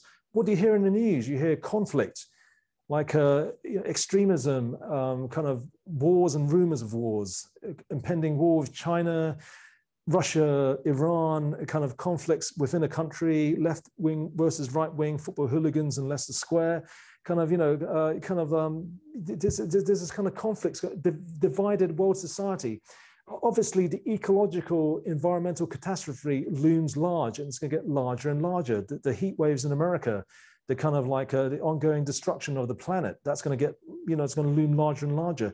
And all these issues basically uh, to do with uh, kind of um, identity, to do with religion, the God debate, that's been you know, raging, it's still raging basically. What the, this, this social movement and what this worldview has to do, it basically has to articulate the will of the age, it has to frame the problems of the world, the issues of the age, all of them into this grand narrative. Which means basically the uh, planet in peril, the universal decline of religion, this one world order, the, the world becoming one place, this clash of civilizations, uh, and even uh, the, the, you know, the, the, technological revolution. That's really important. Yuval, Yuval Noah Harari, um, he said in an interview, he said basically that what strikes him the most um, is that no one, as far as he can tell, not on the left wing or the right wing, can clearly articulate, okay, his exact words, a serious, meaningful vision of the 21st century and where humanity will be in 2050 that incorporates okay, he says specifically, uh, he lists three things artificial intelligence, biotechnology, climate change, and all that. So lots of other things. Okay. So what this worldview needs to do, it needs to incorporate all these things, including the advent of this fourth industrial revolution, the advent of you know, biotechnology and artificial intelligence. That's going to completely change the world, the technological singularity. It needs to incorporate all these issues within itself. But crucially, it needs to basically uh, be communicated out into the world, but also needs to provide the answer. So it needs to articulate the, the issues of this age. It needs to articulate the will of the age, but then it needs to articulate how to realize the will of the age. Now that's hugely ambitious, isn't it? But how do you do that? I mean, you do it by basically, uh, you know, framing all these issues within this kind of like mythic prophetic framework. So, planet in peril. Okay, we are in Camelot in disarray. We're basically, this is uh, kind of like uh, we're about to be overrun by the orcs. We're about to be, you know, Death Star is about to be built. You know, this is impending doom. You frame it in the mythic narrative. But crucially, you must uh, basically provide the means by which this kind of like tension you're building in people's heads to be realized. And you frame it in terms of basically the future okay, the best way to predict the future is to create it. But then how do we create it? We need to create a vision of what is we're trying to create. Okay.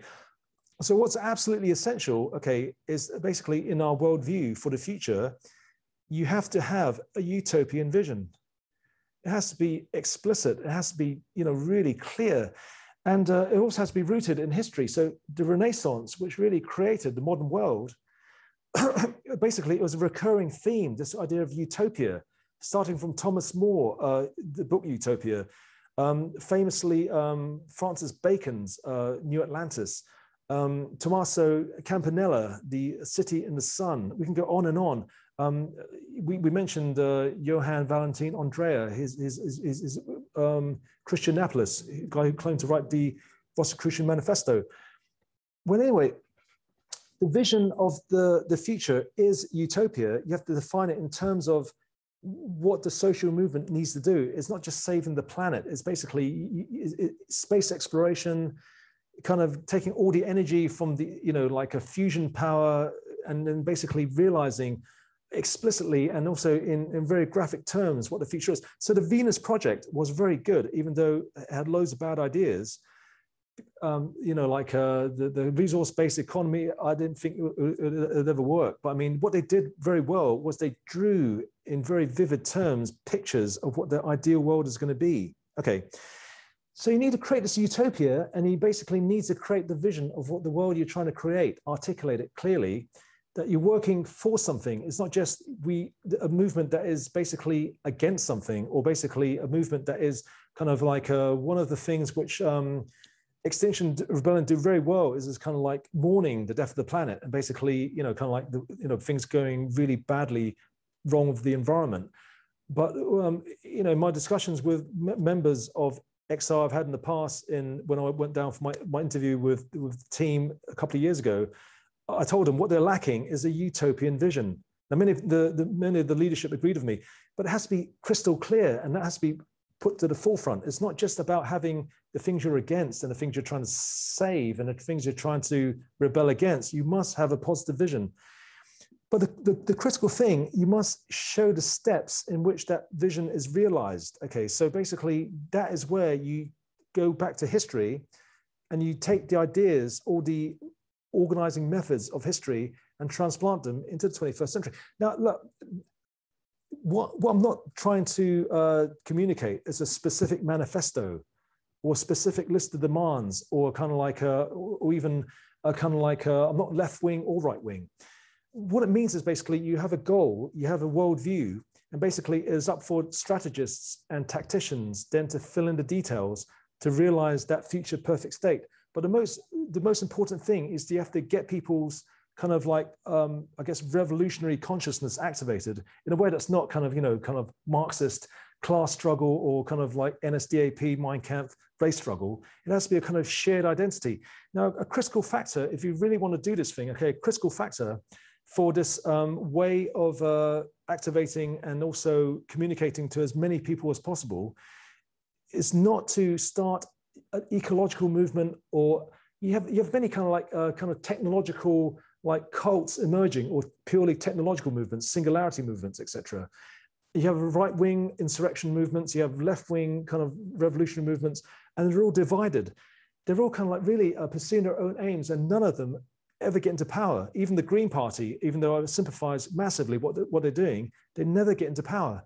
Okay, um, even in proportional representation countries, basically their influence is very limited.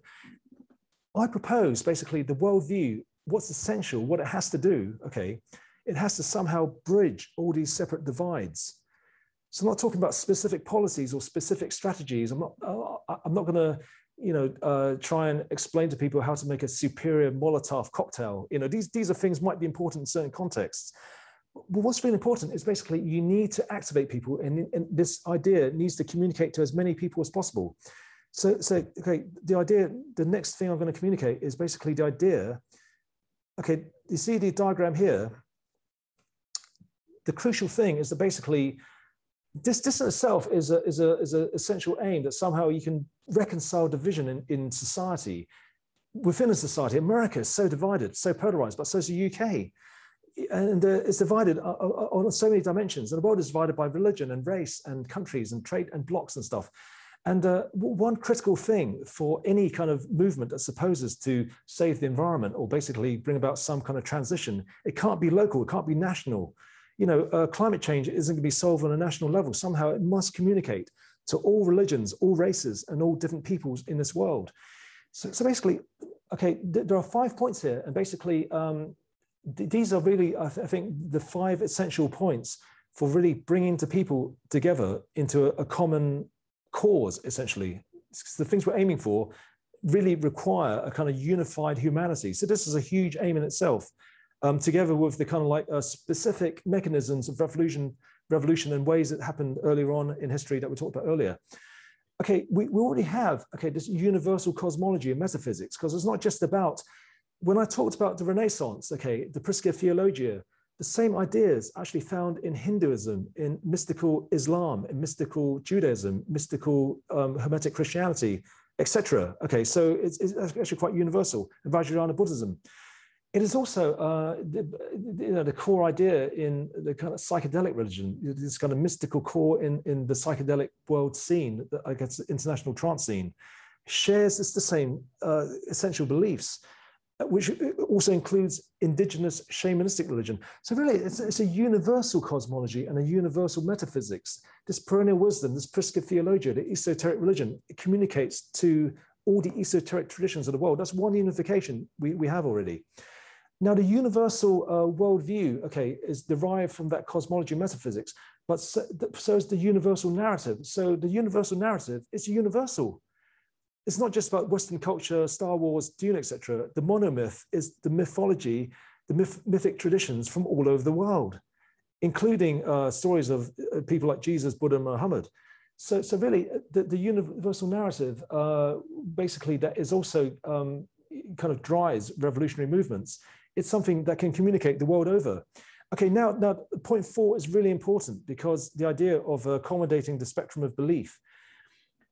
The idea is this, okay, we believe that somehow you must have these, you can use these really quite difficult uh, mystical ideas. Uh, uh, the, the, really extreme idea in talk two was somehow that we're all God, okay, that we're all one consciousness. Okay, this is at the heart of religion. This is at the heart of the Prisca Theologia, the Corpus Hermeticum okay, if you're going to start a world social movement that can communicate all different social movements of the world, obviously you don't put that at the forefront, but it's part of a spectrum of belief.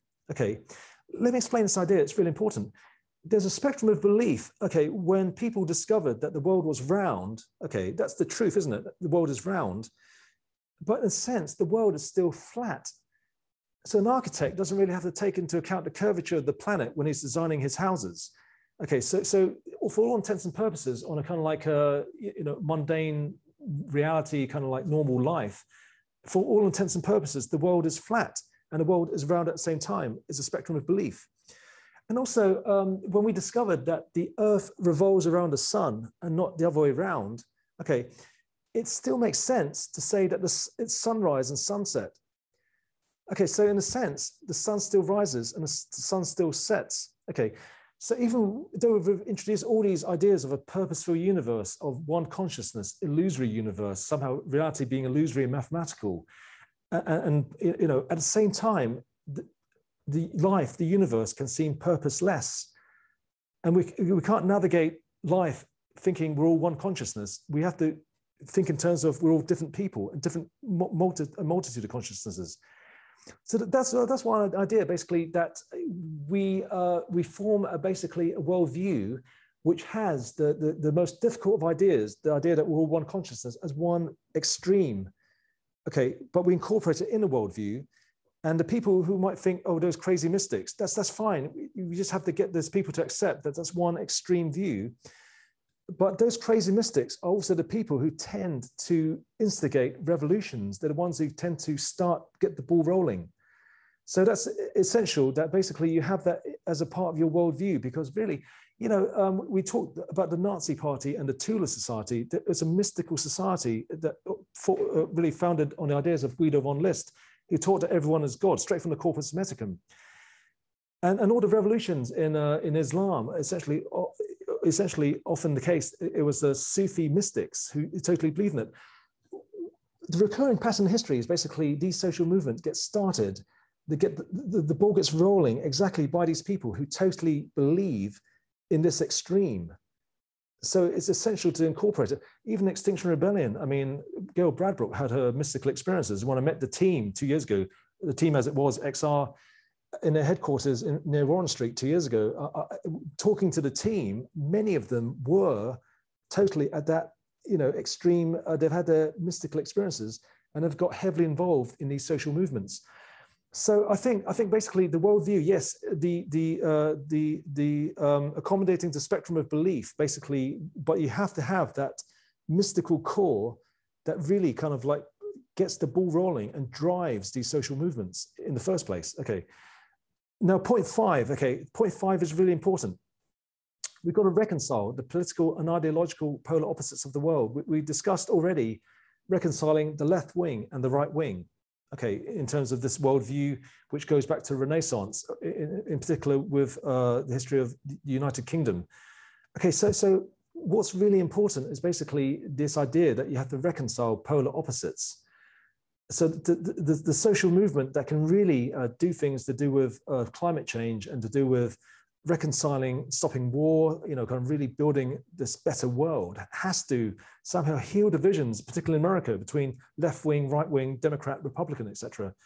And the way to do this is, is this. This is really important. Okay, this is, is this.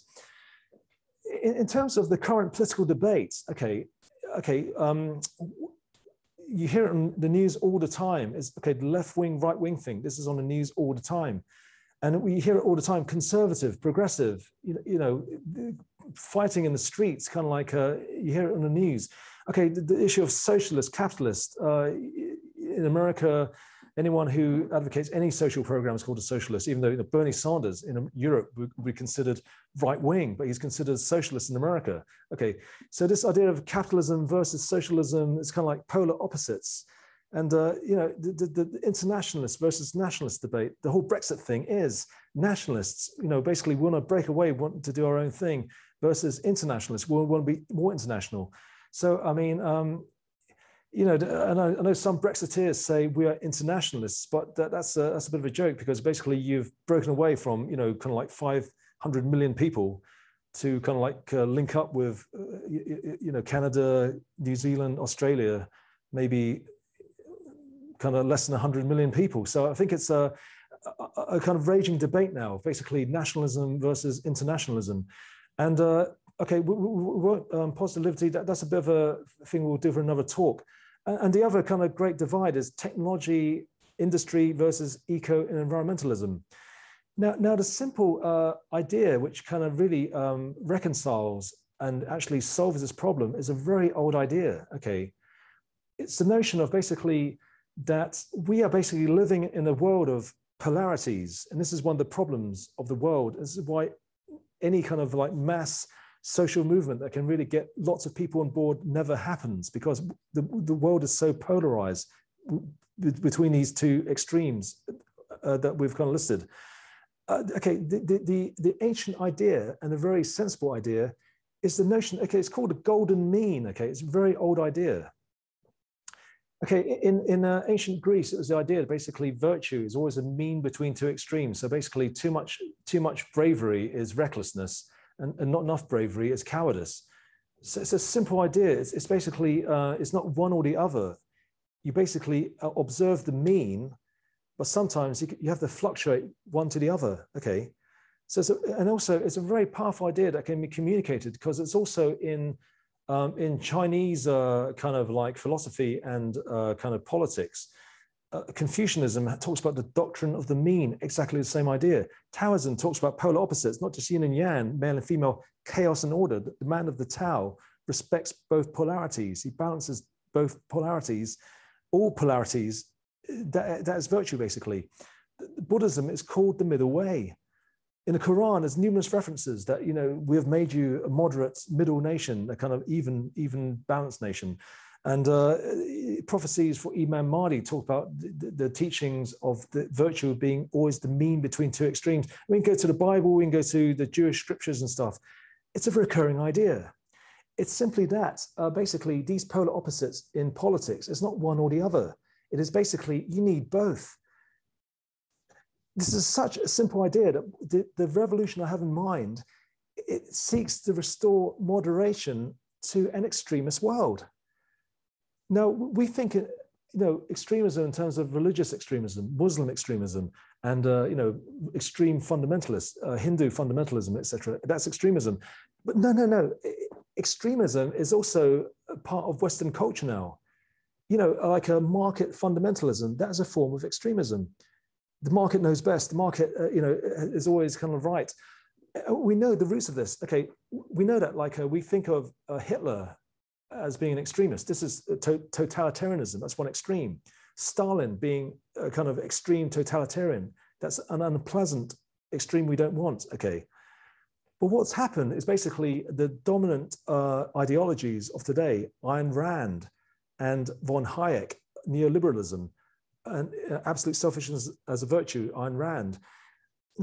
When you understand that basically Ayn Rand grew up in Leningrad, Stalinist Russia, you can understand that her philosophy is a direct opposite reaction to total, you know, kind of authoritarianism. You see, you've gone from one extreme and you bounce to the other extreme, to- total selfishness as a virtue. And also, von Hayek grew up in Austria and he saw the excesses of Hitler. So basically, he kind of bounced from one extreme, the kind of totalitarian of totalitarianism of Hitler, to absolute free free market fundamentalism. You know, absolute the, there's no society.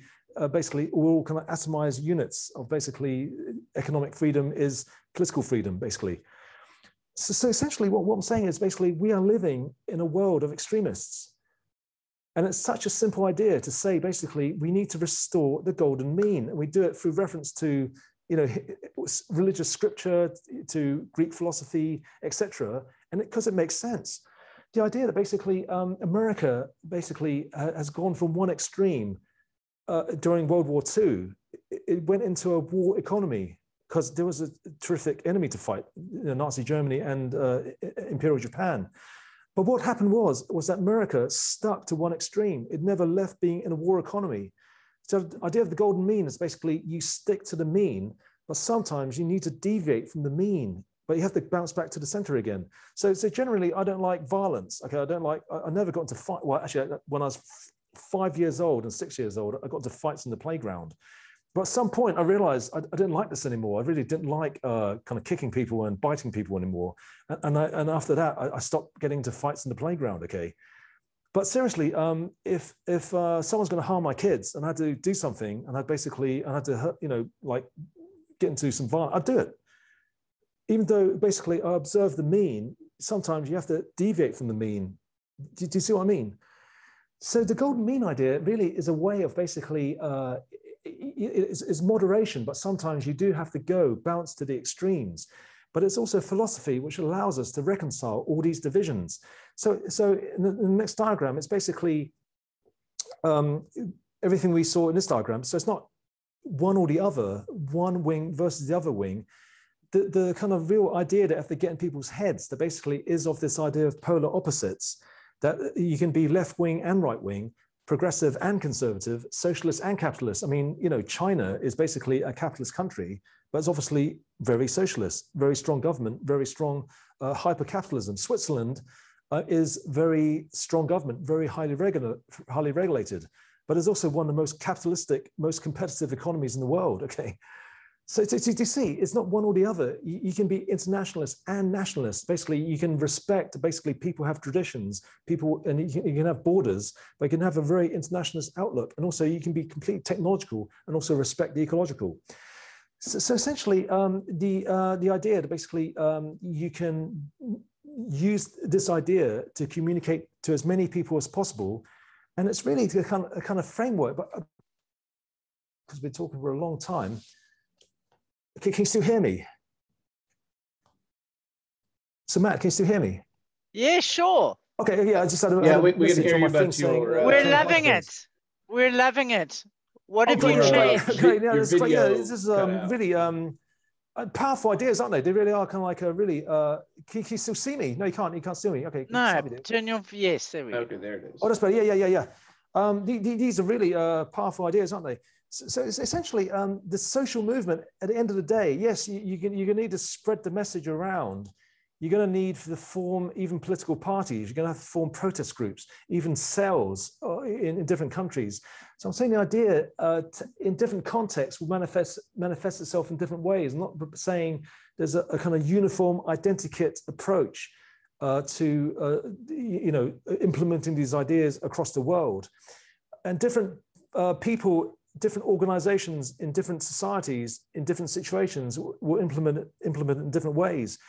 I think what i propose is basically we resurrect and we basically replay re- recapitulate the process of the renaissance. So we have to spread the ideas and ultimately the revolution happens on an individual basis. So there's a real process of communicating and canvassing. There's a real process of canvassing people and to really uh, communicate, use uh, social uh, scientists talk about revolutionary movements uh, really uh, uh, spreading through kind of networks of friends and also through family networks. But that's how it works. Of course, there'll be speeches. You need to give speeches, you need to print pamphlets, you need to print books. But the essential thing is you spread the ideas, you kind of, I guess, kind of make a kind of, I guess, a kind of blueprint you kind of uh, list a kind of like a, a, a kit of a kind of like a Lego kit of kind of ideas and strategies, and people will assemble a Lego kit in different ways in different places.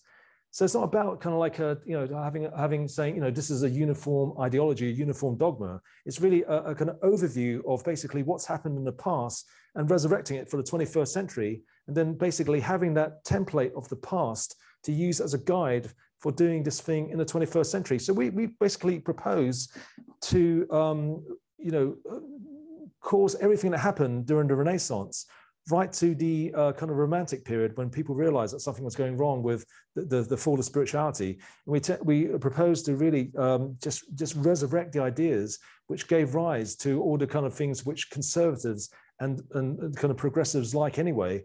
And basically, we propose to do this in the 21st century. So it really is, a, a, for me, it's, basically uh, giving talks and making videos. But I mean, uh, for uh, as time progresses, it will be people forming political parties and protest movements and uh, etc. I'll, I'll, finish off this talk by us uh, connecting uh, everything I said with the the other side of the message, if you like. So, so I made a decision uh, a couple of years ago, about two, uh, two and a half years ago, I made a decision to have a sharp division between the political ideas and the fractal brain, fractal AI, fractal artificial intelligence ideas. There's, so basically everything I've said tonight and in the, the first talk and the second talk, there was absolutely no mention of the fractal brain theory or the, the AI work. So, so what, what, what I think my job is basically just to communicate this overall overall blueprint. It's not for me to start specific social movements or start, you know, kind of like political parties or whatever. You're basically saying what's happened in the past, and I think people will take these ideas and they'll run with it. But my specific uh, kind of, what, I think my role is basically to um, communicate the ideas, but the fractal brain, the fractal genome work okay, there's a perfect dovetailing with the cosmology and the, the metaphysical view with the uh, fractal brain, fractal genome stuff. It has to do with the idea of the, the universe being fractal, the universe being a giant organism, and a universe being a, a, a giant brain and a giant intelligence. So everything I've said in the first, second, and third talks to do with politics and revolutionary movements has made no reference at all to the fractal brain, fractal genome stuff. But when it's my my my belief and it's my faith that if it's right, then in the future, the fractal brain, genome stuff, and the creation of real, true AI will essentially turbocharge the political message. So that's the that's that's what uh, that's what's going to happen. That's what I'm going to do. Because so th- I guess that's it. Does that does that answer your question, Matt? I mean, that's basically I think the process that's going to happen. You you throw ideas out there. You communicate the history of what actually happened with these revolutionary movements, and people will use that history to form uh, revolutionary identities, but also form you know, formulate ideas and also use new ideas like ingenious ways of organizing using the internet and encrypted communications, all these kind of new things we can do for the 21st century. And then basically people will form their own syntheses. It's not really, I think my role is not really to kind of say specific things or specific strategies for any specific place. So, but I, that's what I think will happen. I think you basically start the kind of like, essentially, um, what you need to do is basically uh, in the first talk, I mean, Hegel's secret revolution, the secret revolution in the realm of ideas that he said was absolutely essential for the true revolution to happen. In the spiritual revolution, the, the revolution in the zeitgeist. So what we talked about in, in our talks, the first, second, and third talks, is to instigate the revolution in the zeitgeist, the revolution in the realm of ideas, the revolution in worldview, which then is the necessary precursor for the actual revolution to occur.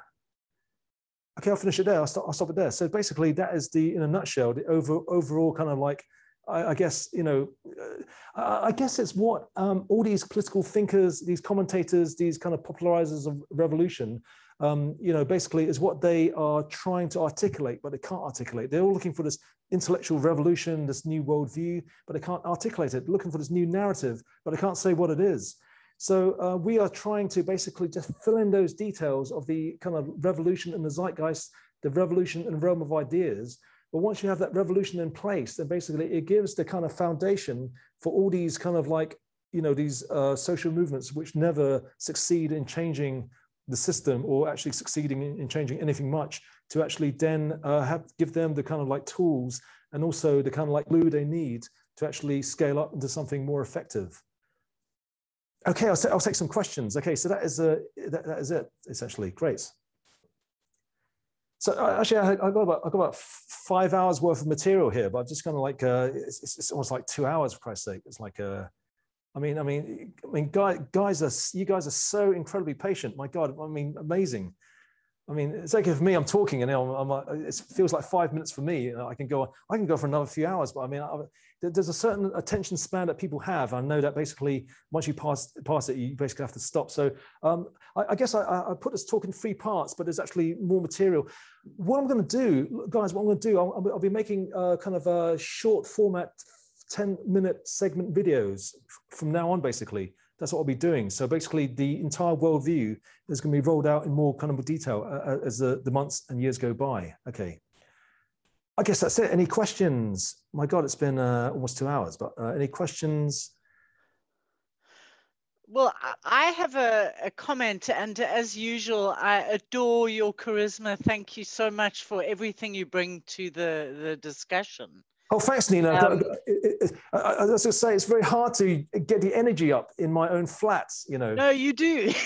you do. You are a maelstrom, a veritable maelstrom. Oh, thanks, thanks. You, if it's a public venue, it's great because uh, you got an audience. You're, you're, rushing to the venue. You kind of all hyped up and adrenalized. Yeah. I find it very hard to actually generate the excitement, you know, generate an energy to actually get the words out to tell you the truth. But thanks, you know.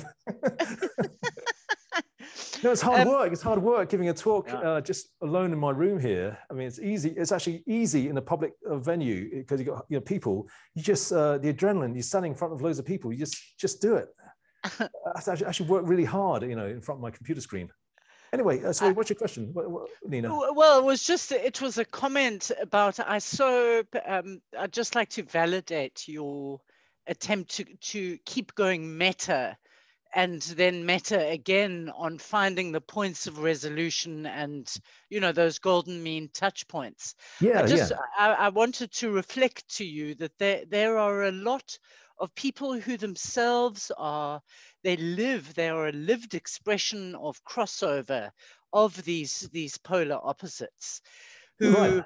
Who come from a very sort of globalized international perspective and have lorded over. And I'm, I'm thinking in particular, sorry, just to migrate while I'm talking, um, there's a, a guy called Sam Pitroda, for example, who was a telecoms minister and advisor to Rajiv Gandhi in the 80s. And he's made a lot of money making patents and landed up at the ITU.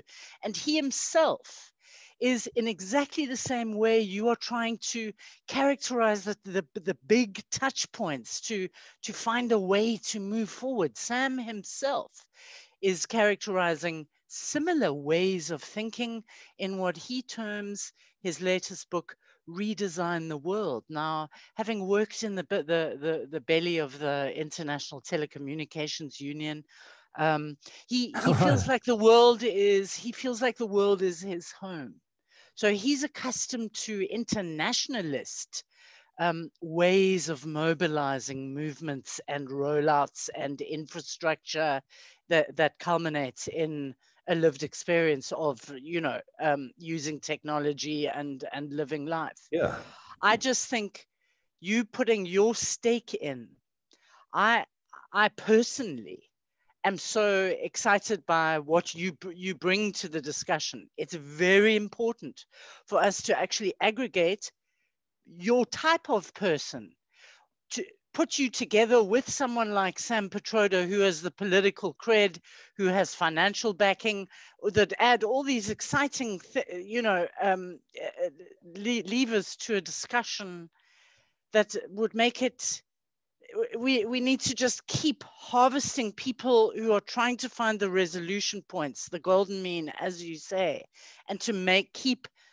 the global discussion moving and to widen the circle on those who who validating this very point yeah of- yeah yeah and and to to keep to keep amassing the group of communicators so that so that we become you know it becomes a, a representative it's it's a like an alternative um united you know the sort of un con- concept of the, those who trying to step outside of the con a, a lot of the false binaries that are being lived out. Sorry i've rambled a bit but i, I just want to say that I, I like to take the, like theoretical discussions and, and to then locate it in the gathering of minds who are themselves thinking along these very lines, taking Yeah, the big yeah, brush yeah. strokes, the big broad brush strokes, yeah and wanting to communicate around ways out of the stasis. Um, because there is just so much potential. Um, uh, but, but anyway, so that was my my comment um, I, I want to see you talking to elders. You Yeah, yeah, yeah, yeah. represent the youthful verve. yeah You you are the future. But I would love to see you harn- harnessing elders as well, and and and starting to see how things land with them. yeah yeah anyway, thank you. Why I Oh. I I, re- I remain uh, a very supporter. Thank you. Yeah, thanks, thanks, thanks for your, thanks for, thanks for your uh, very positive comments and support. Mwah. Um, you know, seriously, um, I, I am still voice in the wilderness. I, I really am. But Yes. my ideas are really developing. So, so really, uh, this this kind of thing has a longer gestation period. In fact, the only reason why you know me uh, is basically I, I give talks in southern England. Okay. But the only reason why I have a kind of like people know me outside England is because I, I- I used to give talks in Bristol. Okay, Peter, Peter, uh, you know, and uh, there happened to be um, a friend of mine, Dan Hughes. I met. He there was a TV channel called PSTV, and he basically filmed all my talks. It was like Wow. a message in a bottle. So this is ten years ago. So, so I'm an absolute voice in the wilderness. But even those uh, talks from 10 years ago, there's one called Revolutionary Movements and How to Start One. Okay. It was just a talk. Okay, that was given in the uh, the um, the uh, the Occupy movement back in 10 years ago. And uh, uh, just that talk from 10 years ago really spread around. It's, it's got about 30, 40,000 views in Vimeo and YouTube. But through that, I met uh, people like, like Gail Bradbrook uh, saw it years ago. And there's all these revolutionaries who've seen it already. And they, they write to me. So already uh, I'm kind of known to the kind of like um, a lot of people who are uh, like Gail are either uh, starting social movements or just looking for ideas. That's so even at this early stage, I'm still voicing the wilderness stage, even with my uh, kind of limited YouTube presence. It's getting out there. But I think the next wave of ideas and more honed green screen videos. One reason reasons I'm doing the Zoom talks is just to warm up the material and get my voice back in shape from two year, you know, year and a half of lockdown, mainly living on my own because my family's. That's it. And another part of my family's in Bishop Stortford. But anyway, um, so I think the next wave can really hit the kind of, you know what I'm saying, these kind of thinkers. And this kind of jostling. It was always many people uh, with uh, a lot of these elders have great big egos. You have need to impress them. You need to basically but also kind of get their support. You know what I'm saying? Mm-hmm. So it's a mm-hmm. kind of political game just to kind of revolutionary people are very quite, often quite cantankerous, egotistical, snarly, gnarly people, I, I find. Okay, so, so, you have to negotiate this kind of really complex scene of uh, not kind of offending egos and kind of like getting your ideas and getting people to support you and work with you. And so it's a, it's a, seriously um, hard game ahead of me just to get the ideas out there. But, but the allies will come. I think that, that that's naturally will happen. But I'm yes. really, uh, I, I, see myself really as being in the voice in the wilderness phase. And, and but the uh, the lockdown, uh, the past year and a half, the message, the AI stuff, the brain theory has really advanced. I'm really excited to just package the new ideas in kind of uh, 10 minute segments and just roll out the entire message, you know, I'm saying in front of my green screen. And I think that will really get the message out there in a big way. Yes. So that's the next step. Anyway. Okay, any other questions or comments? Uh, I, have kind of like a comment or a question. Peter. Or you, you can let Peter go. Uh, okay, uh, thanks, uh, Wai. I wouldn't say you're a voice in the wilderness. I think you're capturing a lot of what everybody else is feeling in many ways uh, across it.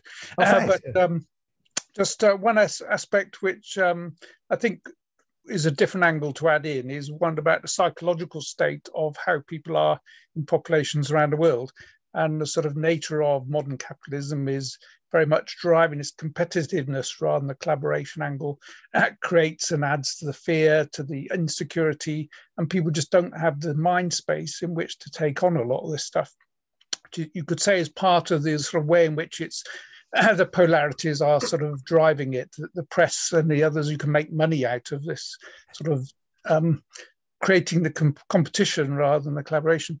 And uh, so we have to sort of find something which can work at lots of levels, very simple at the level of people who are sort of goes back to the Civil War. You know, the people who are sort of uh, struggling, they couldn't afford to live on the land yet. They couldn't sort of move. They couldn't do things. So how do you appeal to them? And you know things like take back control was an ideal uh, meme which caught the imagination of people who felt like that. Um, yeah yeah. it doesn't give them back control at all. It actually gives no, no, no. but there we go. Um, and then the more uh, sort of articulated sort of responses as you go up to the more sophisticated people and arguments and everything else to add in. So that psychological angle is is a very important one i think for the modern world and the diversity of all the people you mentioned. Yeah, yeah, yeah. no, piece totally. I mean, um, the, uh, the, the, the extra material I, I, I didn't I didn't do was basically to do with the individual, the existential dimension. Basically, at, at, the end of the day, you've got this worldview, this kind of grand metaphysical, cosmological view. At the end of the day, has to communicate to people. And uh, basically, um, you know, a lot of the alienation in the world has to do with okay, the, the modern industrial context, but also the philosophies philosophies of Ayn Rand. You know, absolute selfishness is a virtue, and even the, the kind of capitalistic system. You know, kind of uh, like uh, it, it, what what Margaret Thatcher instituted. I mean, I'm, I'm not saying she's all bad, but I mean, she kind of really kind of this emphasis on greed and capital accumulation, which really kind of broke a, bit, a lot of uh, what's good about UK society, I think. And um, so, so I think there is this kind of existential angle, which I think, but I think, I think there is a kind of angst, and also there's a kind of like searching, there's a kind of longing. So I think um, on one level, um, to basically to resurrect a kind of uh, to re-excite people's imaginations for religion, to resurrect this Prisca theologia, you know what I'm saying, perennial wisdom, give people a sense that the universe is purposeful. That in itself is, is you're doing something. But if you can actually then turn that to political ends, that's even something else. You know, well, one of the things about worldview is that you have a worldview which is a grand construct, okay? But one, one of the things you need to do on an individual level, you need to distill certain points from that worldview that can captivate certain people that then can get them to join this social movement, which is very broad. So obviously, the worldview you might distill aspects of ecology environment to get people who might have joined the Green Party or Extinction Rebellion. But then you distill from this worldview the artificial intelligence and biotechnology aspects for those people who might join singularity movements or these modern kind of AI churches. So I think from a worldview, you distill certain things like social justice, like you know, combating racism, etc. So on an individual level, even though worldview is vast, basically the social movement is the worldview, but then you have to kind of angle it in a specific way to different people. But I think, especially young people, I think there is a sense of longing for a kind of communion, a kind of sense of, you know, kind of like a, to, to a sense of belonging. I think this, there is a sense of alienation.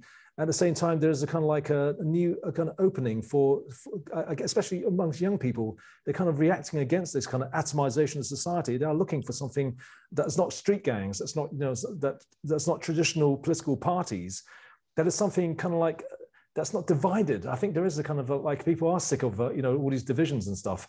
And I, I, speak uh, especially in London, you know, some message that shows that all these polarities, all these different religions, there's actually a common core. I think that will resonate with a lot of people. I think you're right. I, mean, I won't extend it too much, but um, I mean, the divide and rule is the simple way uh, it's done. But the religions had had the problem in, in the end of how to make it um, appropriate for each person. Uh, and so they just simplified it by saying, well, this is the dogma, you believe that. And because there's no other religions very much in each of those countries, and they could get away with it. But now we've got a much more libertarian and, and individualistic society. So everybody wants to believe different things in a sense. And so the whole dialogue has to include that ability for people to be diverse. But then you open yourself up to the divide and rule again. So it and the, the duality that comes out of that. So it's a tough, tough job. Yeah, yeah, yeah. Well, again, I think I think it, I think it is that that idea of like uh, you basically reconcile the duality. So it's not you know kind of like uh, total. People want a communal experience, but also people want to be individual as well. It's kind of funny. I mean, uh, you know, I worked in a, in a, church for ten years. You, you might you might know. I mean, uh, it was okay. It's the Church of England, but it really was pirate ship in, in the Church of England. It really was wild place. You know, New Age, pagan, mystery religion. It all went on there. Yeah. They let, they let me work there for Christ's sake. So it wasn't wasn't normal church. Okay. Anyway, you, you, you got this kind of like even in the Church of England. Okay, basically people got this sense of communion. You know, I remember like working on a Sunday and singing hymns. Okay, it's a church where William Blake was baptized. So in weddings and you know, I, I've sung the hymn Jerusalem probably thousands of times in my time working there. Just got selected for weddings and it's just sung constantly. Anyway, people had a sense of communion in that church. I realized it wasn't Bible basher. It was basically people just got together because they were, you know, and I think that's missing today because, you know, basically, but you don't want to start an organized religion. You want to start basically something, you want to create something that is communal, but not just going down the pub. But at the same time, you don't want, you know, basically, you don't want to start a cult. You want separation and you want to create that kind of communal uh, sense as well. Switzerland, you know, Switzerland, I know quite a lot about Switzerland. Basically, they embraced they embraced uh, a kind of like individualism. They basically uh, after the revolution in the mid 19th century, they embraced uh, a kind of um, individual responsibility. They embraced the kind of Adam Smith. They embraced John Locke. Okay, they uh, they, they basically embraced this kind of capitalistic individualistic creed. But at the same time, I, see my my partner's brothers, her, her, her, her older, her younger brothers, uh, do national service. No, he, does, he's, he's, he, doesn't, he, he, doesn't like, he's got a gun, but he doesn't like, uh, most Swiss people do have guns. They don't have uh, no gun violence though. Um, he doesn't do uh, the Swiss army, but he um, goes to look after the bomb shelters. You know, Switzerland, Switzerland has enough nuclear bomb shelters for all the population, plus, plus number, another third for all the refugees that are going to flow from France, Germany, Switzerland. So he's one of the bomb shelter wardens. So Switzerland has this kind of like individualism. They're all kind of very independently minded, direct democracy, but they get, they get together and basically they, they get together as a country. And they, they, you know what I'm saying? There's a kind of sense of and, and uh, you know they're, they're, nationalistic, but not in a kind. They're all proud of their country, but not in an obnoxious way, like some you know kind of England fans are. You know, like a. So, so I mean, I think there is a way of actually having individualism, and uh, so, so I wouldn't say to Iron, you know, I, am critical of Ayn Rand, but I don't say, I don't say, look, you got to be totally selfless there's a time for selfishness and there's a time for selflessness. I think it's reconciling the dualities again. So I think you give, give people that, a kind of sense that, yes, we get together for a demonstration or, you know, some political movement or some political party, but then you're back, you know, as individuals as well. I think that's the, maybe that's the way of doing it. Yeah, in your golden mean, it's balancing freedom with responsibility. Whereas in the Western culture, mainly we just sell freedom without responsibility. Exactly. Yes, exactly. And, and in China, I'd say China might need a little more individuality, and vice versa. The West might need, well, particularly America, might need a little more kind of, you know, social cohesion kind of thing. You know, kind of like a, a kind of a communal aspect. Yeah, definitely. Yeah, that, that's that's another kind of duality, Thanks. fundamental duality, isn't it? Actually, Adam Curtis talks about this a lot. That, you know, how to communicate a kind of like social left-wing social movement to an atomized individualistic society. So that's one of his uh, recurring themes. And great, great guy. I mean, great. Uh, but he's he's he's one of the elders to get on board this kind of thing. Because actually said, um, I, was really uh, excited in March when I heard an old Russell Brand interview of Adam Curtis from two, three years back. And Adam Curtis said in the interview, he said, yeah, was, he said what might happen is that there might be a synthesis of religion and science that might, you know, dream, he said, a, a paraphrase, he said, that's logically consistent, that can paint a picture of a better world, that can inspire people. I'm paraphrasing. So even an atheist um, left-wing propagandist, uh, documentary maker like Adam Curtis, can can see or kind of like you know what I'm saying can actually be sympathetic to some kind of synthesis between religion and science. Yeah.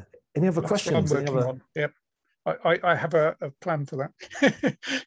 uh, so, sorry, Peter. I have a plan for that. Yeah, that's what I've been working on. Uh, what's the plan? Oh, just how to blend all of science and sort of um, spirituality and religion all into one uh, sort of cons, cons uh, working together sort of aspect, which shows how it all is the same thing, really. Yeah. Yeah, yeah, yeah, yeah. That, that's the, that's the thing to communicate, isn't it? Because because it really yeah. just enters the God debate, which in itself is is interesting but then it expands into this whole political dimension, isn't it? Really. So, so I think the, yeah. it is. Uh, I think um, I think the other thing Adam Curtis repeats again and again in his in his his recent documentaries about um, um, uh, hypernormalization and the, the, other, the other one, which was about uh, Saudi Arabia and Afghanistan. He seems to imply that yes, uh, the Soviet Union was destroyed in Afghanistan, and that kind of lost their kind of faith in communism. But same thing's happening in the West now. That you know, it's, it's, it's a almost place of disenchant, you know, where you get broken and you come back disillusioned. And he's also hints. He almost hints that basically, yes, there's something going on with uh, Afghanistan that they have something that we don't have, or the West has doesn't have. And he tends to think that basically they have this thing. They have the kind of like a because he constantly talks about that they have a sense of higher purpose that um, you know neoliberalism has given us this kind of like you know negative freedom that we basically can consume that we're free from coercion but we don't have the freedom to do something positive. and they to say that basically yes islam these people are fanatics and they're crazy and they do horrible things but they have this kind of positive freedom and he's saying that that's what I, I, that's what i get from adam curtis documentaries that, that, that maybe this is what's missing in, in the west but if you give people a kind of coherent logical uh, you know, something that synthesizes religion and technology, a kind of utopian vision that is kind of aligned and is framed in a mythic prophetic context, and you give that for something uh, uh, for people to work towards, then I think that might be something interesting. And also, and also, um, I didn't, I, had it in my notes, but I didn't say it in the talk. But recurring theme with uh, people like Yuval Noah Harari, even like people like Peter Thiel, and uh, it's recurring Dan Brown, is that somehow they are talking about the idea of technology giving us godlike powers, and it's resonating with people. Okay, so we're like uh, demigods with godlike powers of life extension. If you're saying that we can live, you know, however long we want, billions of years, billions of years, we'll be godlike. Now that's an interesting idea that appeals to people, but, but what, what if we marry the idea with the idea of the corpus hermeticum what the idea of the what the Renaissance men believe. Okay, they believe that they yes they were creating technology that magic was the highest expression of natural philosophy, i.e., science. You know, uh, Francis Bacon saying uh, in New Atlantis, science, the, the, the end of our foundation is the knowledge of causes and secret motions of things, and the enlarging of the bounds of human empire to the affecting of all things possible, i.e. technology. Okay, but, but the Renaissance men believe, yes, like, like all these uh, modern thinkers, that uh, we become godlike. We enter into the powers, become one with God. So in the Corpus Mysticum, it's actually saying that uh, you enter into the powers, to enter into God. So they believe not just in creating technology to be like little demigods, they believe in the path of technology and gaining power as a means of spiritual transcendence. Did you, get it? So basically, we're taking ideas of these atheist um, uh, kind of thinkers and philosophers and just we're just adding that, that transcendent dimension and rooting it in the ideas of the Renaissance and the Corpus Mysticum. And I think that's a maybe another another angle, a killer angle to you, know what I'm saying? It's like almost like Yuval Noah Harari plus plus. so, so, you're taking existing ideas, you can just basically taking them to another level, which is important if you want to start, you know, a kind of like social movement that's going to excite people because you're basically taking existing ideas and you're basically extending them to, to a higher level. Really, I think that's another angle, maybe. Yeah. Anyway, any other questions? Any other? Uh, I've got one. Matt, uh, let's Matt. see. So uh, you were talking about uh, need for a clear utopian uh, vision of the future, and uh, I believe that, uh, like technologically speaking, if uh, someone like an Elon Musk could communicate like a good uh, technological vision of the future, like here's these technologies that are possible, go out and invent them. That could be like that mystical call to adventure for the 21st century. And so my question is, uh, do you have any, uh, can you articulate any vision of the future, technologically speaking, like involving AI or technology? Oh, oh yeah. I, I think I think uh, I think uh, this kind of social movement. I, I, think okay. Okay. Firstly, I'd say I'd say it's really important to get these uh, kind of uh, Ayn Rand worshipping uh, tech billionaires on board. Okay, and I think I think one of the ways to do it if you can give them really exciting ideas about artificial intelligence. What's you know the whole uh, tech scene, Silicon Valley, Silicon, Shenzhen, you know China, all over the world, Israel. The whole the whole artificial intelligence scene is actually there's something missing, and that, that thing is artificial intelligence. There's no artificial intelligence. Okay, you know like the so, so basically, it's this old technology, machine learning technologies from 50 years ago, which actually quite work. Even Elon Musk is realizing that you know self-driving cars, level five self-driving cars, is really hard. Even he said in a recent interview. So, so okay, so they are really into Ayn Rand, Silicon Valley. They're really into Yuval Noah Harari. Uh, he's he's very uh, kind of like celebrated academic there now. So, so I think I think you can, you can get these people on board by by saying yeah, you mellow out the Ayn Rand with a little bit of altruism and you know give them this kind of like because they go to burning man anyway because uh, you know it's just a matter of time. Someone slips lsd into their drink or whatever they're going to get the transcendent thing aren't they? I mean it's just a matter of time. Uh, they might know it already. I mean I'm, I'm, I'm, kidding. Um, but they're into Burning Man, so there is this kind of like uh, kind of openness to ideas in Silicon Valley, and I think there, that's one kind of uh, kind of segment of uh, you know modern society you really need on board because they okay and one of the ways to do that, if you can communicate interesting um, kind of uh, artificial intelligence ideas to these people, um, and also uh, married with a kind of like a broader uh, political religious ideas, because I think they'll be very open to it. It's almost as if Karl Marx said new uh, commercial classes, uh, that political power emerges from new, uh, you know, it's all structural, you know, new uh, capitalists emerge and that leads to kind of political power. Well, it's also the new uh, kind of capitalist classes emerge in the past few decades and it's, it's not just Silicon Valley, it's biotech, it's basically high tech. And these, these are multi billionaires and it's worth billions and billions. Apple sits on trillions of, not capital, it sits on a, mountain of uh, uh, uh you know, hundreds and hundreds of billions of cash. You know what I'm saying? Uh, and basically, this power, this structural power that exists in modern Western uh, and also all industrialized economies, it's, it's also looking for a political outlet it doesn't know whether it's Republican, doesn't know whether it's Democrat. It, it, you know what I'm saying? It's looking for almost like a, a, an expression of what it is politically. And if you can actually tap into their kind of obviously love of technology and the love of certain principles, libertine and also even Ayn Rand, but also mellow it out with these, these other kind of like opposites of the polar polar opposites, they can mellow them out. Then I think, and I think that's a very powerful uh, kind of base you can use to uh, help propel these ideas. You know, really. So that's one aim, well, one of the aims I have in, in the, one of the plans long term is I think, look, it's a matter of faith, but I, I, think the fractal brain theory, the fractal brain stuff, the big idea, you know, symmetry between genome, neuron, you know, brain, genome, and uh, you know I'm saying uh, evolution, the, the, symmetry between life and intelligence, that, and then the idea that that big idea, the symmetry between life and intelligence, gives rise to true artificial intelligence. Okay, so essentially, I, I think it, it's not just clever. I think it's right. Okay, so that's, that's okay. I, I don't. I'm not asking people to believe that. I believe it. I try to. I do talks to try and convince other people to believe it. Okay, but this is what I believe. So, so this is my faith that, that if I am right, and basically I can use that as a stepping stone to communicate to all these industrialists, Elon Musk, so look, I'll let you into my my my my fantasies. These these are my daydreams. Okay, I'll let you into my daydreams.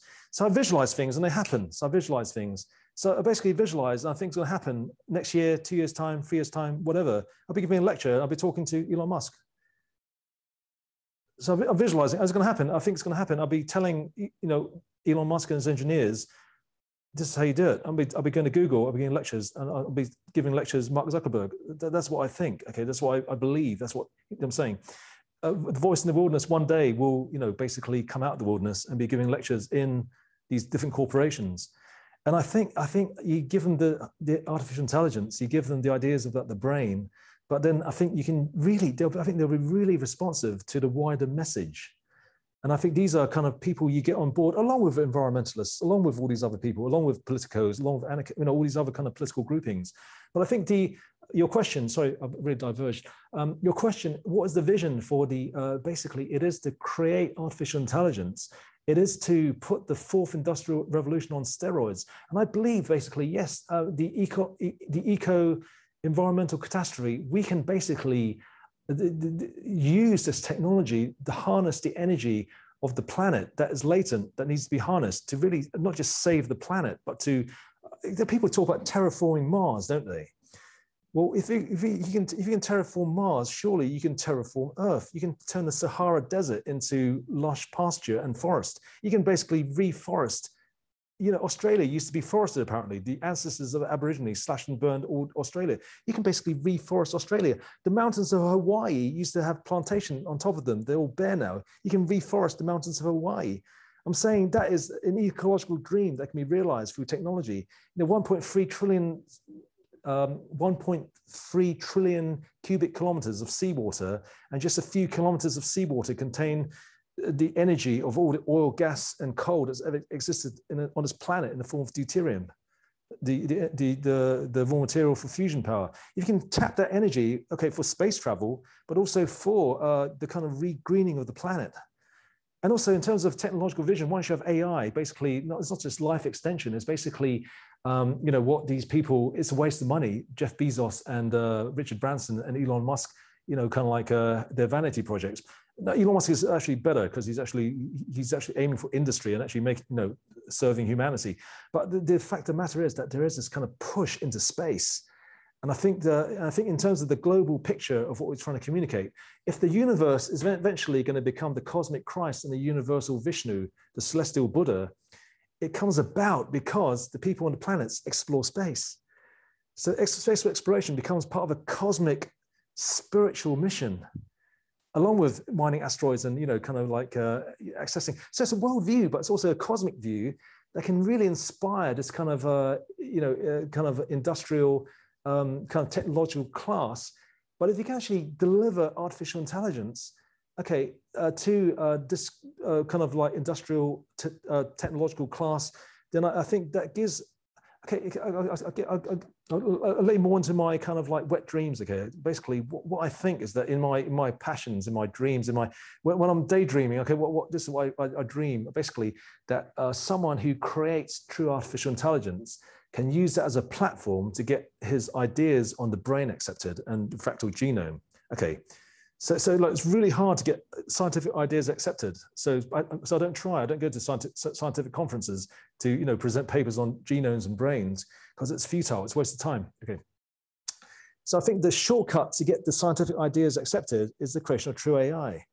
Okay, so so in my dreams, okay, the person who creates true AI and then gets this theory about you know the the, the universe uh, uh, sorry the, the, theory about the, the the fractal genome fractal brain that extrapolates to the universe accepted okay as a scientific theory okay okay because it's, it's, actually i can communicate it not just to scientists gene uh, you know uh, geno, genomic uh, kind of uh, functional genomics people and also brain scientists and neuroscientists, I can communicate it to them, but I can also communicate it to lay people. So once I have the platform through creation of artificial intelligence to communicate those scientific ideas, and then it's accepted, that gives me a platform to talk about religion and politics that no one has ever had in history of this planet.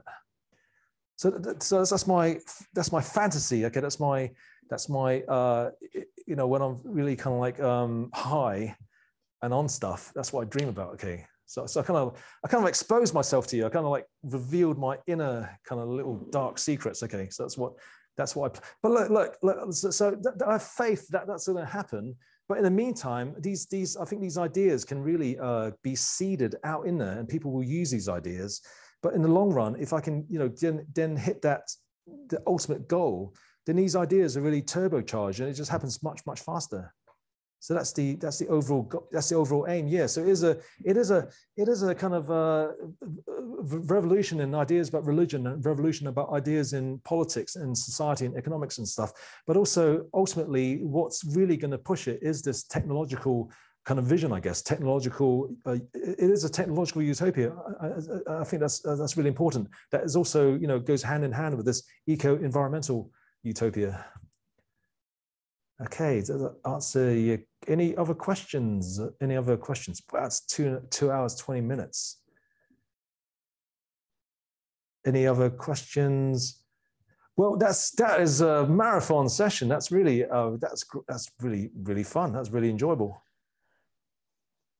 Wait, what's your yeah. next one? What's your next one now? What's did, your did, what's you know, your POA? Um, sorry, ne- next next talk. Yeah, where, where are you going from here? Oh, did you know? I was, I was a bit disillusioned that Facebook only let me put out 50 invites because it's so easy to do these Zoom talks just because it was easy to promote on Facebook. So, so what I was thinking of doing, I mean, I, it, it is it is July, and this is a kind of dead time for talks. And uh, basically, I mean, uh, I, th- I, think because it, it, it, uh, the uh, normally on Facebook you, you, promote to 50, 50, people, and there's only about 20, 30 people come to the talks. So I was, I was thinking um, this might be the the uh, the last Zoom talk for a little bit, just because because I don't want to pay Facebook to you know kind of get no. the uh, get get the numbers up. Uh, so what, what I'm going to do, the next thing I'm going to do is uh, basically, um, but I might have I have might have Zoom meetings. I might have Zoom meetings just to talk about things, just to have like mm. like a like I might do it regularly, so I don't have to promote it, so people know that there's going to be these kind of like talks where I just basically like jam new ideas and then extended questions and answers sessions. Beautiful. That's, that's what I might do. So it won't be kind of epic two hour talks. It might be a kind of regular weekly thing where, where it's going to be uh, 90 minutes maximum. There'll be a time limit. Now, basically, you know, kind of like present ideas, but a lot of it will be questions and answers. I might, I might do that. But the uh-huh. what I what I plan is that I, I just basically moved into this new flat. This this living room is really big, and there's lights. I've got lights basically. So basically, the, the, uh, the camera I'm using is actually a very good camera. You're looking at it now.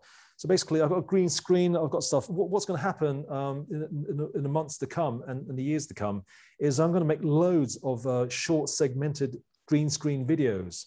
Nice. So, so what, what I used to do in hour and a half, two hour talks, I'm basically going to segment. So that be part X of 14 talks or whatever, but each one will be five ten minutes long. And I'll basically segment the entire message because I think it'll really get the message out there. Each segment will have some kind of punchline, some kind of something that can really grab attention, some kind of nice.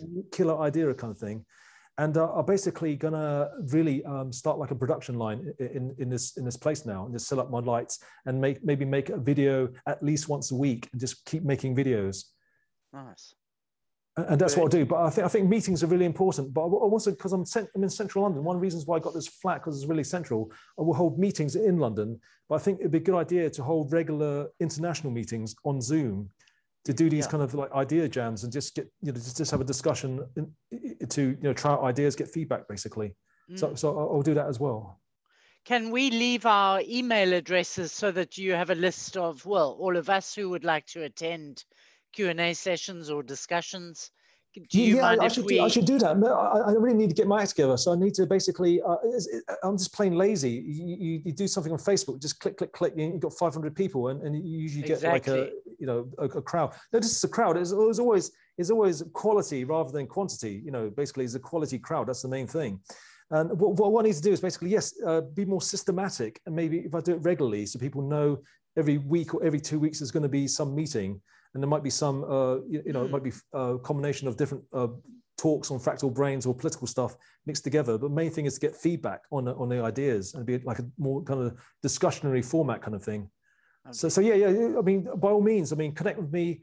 Um, give me your email. It could be, it's much easier just to, uh, but I need to get my act together. So basically, I just need to basically systematically get this thing, get this thing going. I mean, I pick up loads of emails. People write to me, uh, off on a website, put me on your mailing list, but I haven't even you know put their names on the database yet. So I, I basically uh, it's the voice in the wilderness morphing into a kind of more kind of multimedia entity. Do you know what I'm saying? So it's a kind of slow process. So yeah, so that's what's going to happen. So yeah.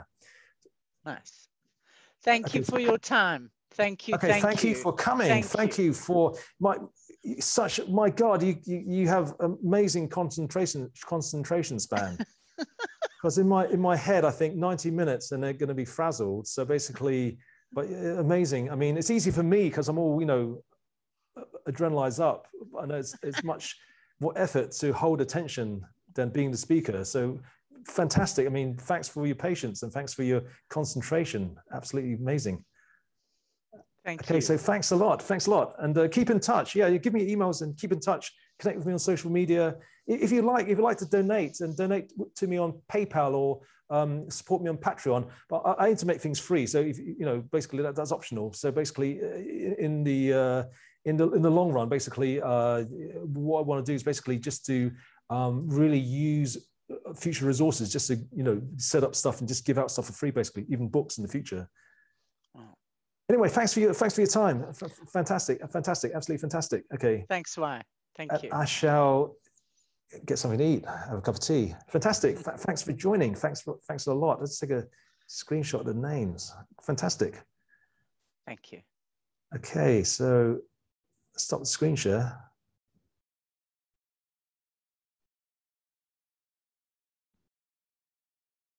Yeah, great. That was good. Great, great. Oh, there's messages as well. Thank you. Oh, thank you. Excellent. Oh, great. Oh, yeah, excellent. Great. Hey, hey, Matt, thanks, thanks again. You're welcome. hey, nice one. Okay, okay, so I guess I, oh, did I record?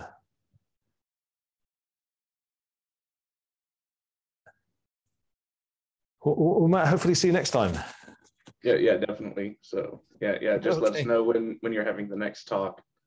Uh, you know, post oh, Matt, Matt, wait, wait, are you on my Facebook? How do you know about these talks? Uh, let's say just on Facebook, you you post there, you like give an announcement. Uh, let's see, uh, maybe you could uh, link your Facebook uh, to like the YouTube video, like in the description of the YouTube video uh, when, when you post this on YouTube, so other people know where to go to look for the next announcement. You can like, okay, like okay. That way. I was going to make a YouTube video uh, just to say I'm going to make loads of YouTube videos, but I didn't get around to it. oh yes, yes, and, and, you know you can always like put links to like your Patreon or PayPal, like in the description, you, you know, for whoever wants to support you and stuff like that. Yeah, yeah, so but, but just, I, I, I, so got to get my act together. I mean, my, my website, I, I, I still got, you know, I, I haven't worked, I haven't done anything on my website for years, you know. So basically, there's all these resources which I don't basically use. Yeah, and on top of that, you have to invent real AI. So to you know use that use that platform to get your message out.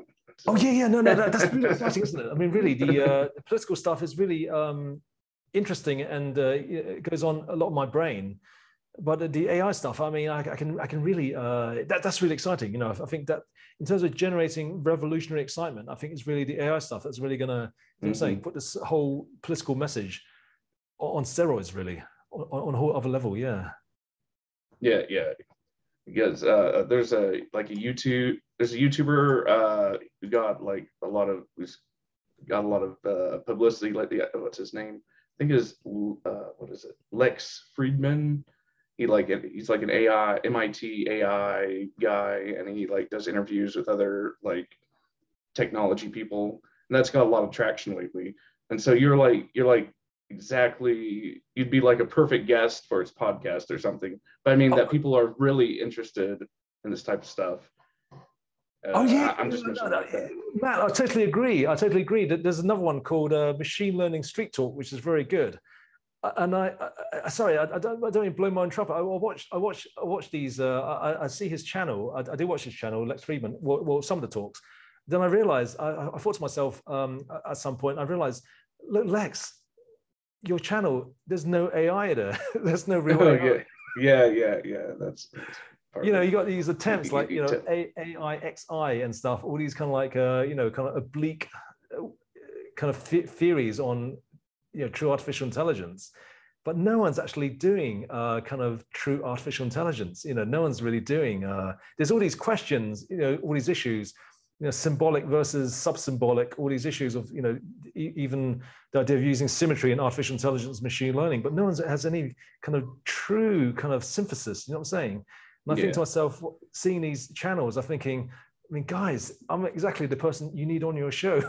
yeah, yeah, yeah. That you know, that, that's one thing. So, yeah, you know, it's just like getting into a position to get that message out there and stuff like that. So, yeah, man, that, that yeah. will come. That will come. In yeah. the meantime, you know, the, the, voice in the wilderness will finish his software, perfect his public speaking act, and, and make loads of videos. That will come. I think. I think it's uh, the, funny thing is, I mean, Lex Fridman plays a bit, bit of guitar, doesn't he? I noticed. Uh, I'm not quite sure. Maybe he does. Maybe maybe I, I, think that might be like in a description somewhere that I saw that, that he plays music. Yeah, he stuck a video once of him just him playing guitar, and I was thinking, I was thinking, you know, we we we we we have a we have so much to talk about. But I think, yeah, I, think it's it is a game. It is like a like like uh, you know what Nina was saying earlier, but you have to just basically hit these people and social networks, and then basically get get involved. Well, obviously, um, in, in the future. I, I, you know, I, this is quite a bold assertion. I think it's inevitable. It's inevitable that I'll, I'll be talking to Lex Fridman at some point. It's like what I was saying earlier. It's, it's, it's, it's, I don't, I don't, you know, to me, it's inevitable that I'll be talking to Elon Musk. It's inevitable. I'll be, I'll be basically, you know, having one-on-one conversation with yeah. him, giving a lecture. He'll be in the audience. Giving a lecture. You know, the the Sergey Brin, all those Google people, Mark Zuckerberg, they'll be in the audience. So that's inevitable. So I think I think Lex Fridman is someone I, I, I will basically be interviewed at some point, and maybe sooner rather than later, hopefully. No, yeah, definitely, definitely, yeah. And uh, I've seen like ideas like this. Oh, oh, what's his name? Oh, there's a psychologist named uh, Iain McGilchrist. I think uh, Jordan Peterson interviewed him. Uh, he, he's I, th- I, think he's a he's a psychiatrist or psychologist from I think maybe maybe it's Oxford but he oh, says yeah, he believes yeah. he believes like everything is a process and stuff and so here you're talking about like fractals and processes and it's like all these ideas are kind of like coming to the forefront so it's like there's this feeling of inevitability for, for all these ideas anyway but like yeah yeah for fun we, talk, we talked on and off about um, Gail Bradbrook, of uh, founder of Extinction Rebellion. He's really into Iain Gilchrist. So, so yeah, yeah, that, that's that's interesting. Yep. So yeah. Uh, so you know, thanks for the talk, and you know, thanks for even though there's only like probably like ten people or something. You know, you know, thanks for putting it out there and. Oh man, it's, it's yeah, yeah. It's, all the effort. It's, it's, always quality rather than quantity. No, no, 10 is amazing. Uh, July really is a dead time for talks. I mean, so it's amazing that people, I mean, 10 is a really good number for, you know, for, for political talk just on a on 50, 50 invites on Facebook and a couple of reshares. That's, that's a quite a good mm-hmm. audience. All right. Well, uh, th- thanks a lot, and look forward to your future content. Fantastic, man. Have, have a good evening. Okay. Yeah, you too. You too. okay. I get some food now. Okay. Cheers, right. Matt. Okay. Goodbye. Okay. So I closed down. Okay. Stop recording now. Stop recording and.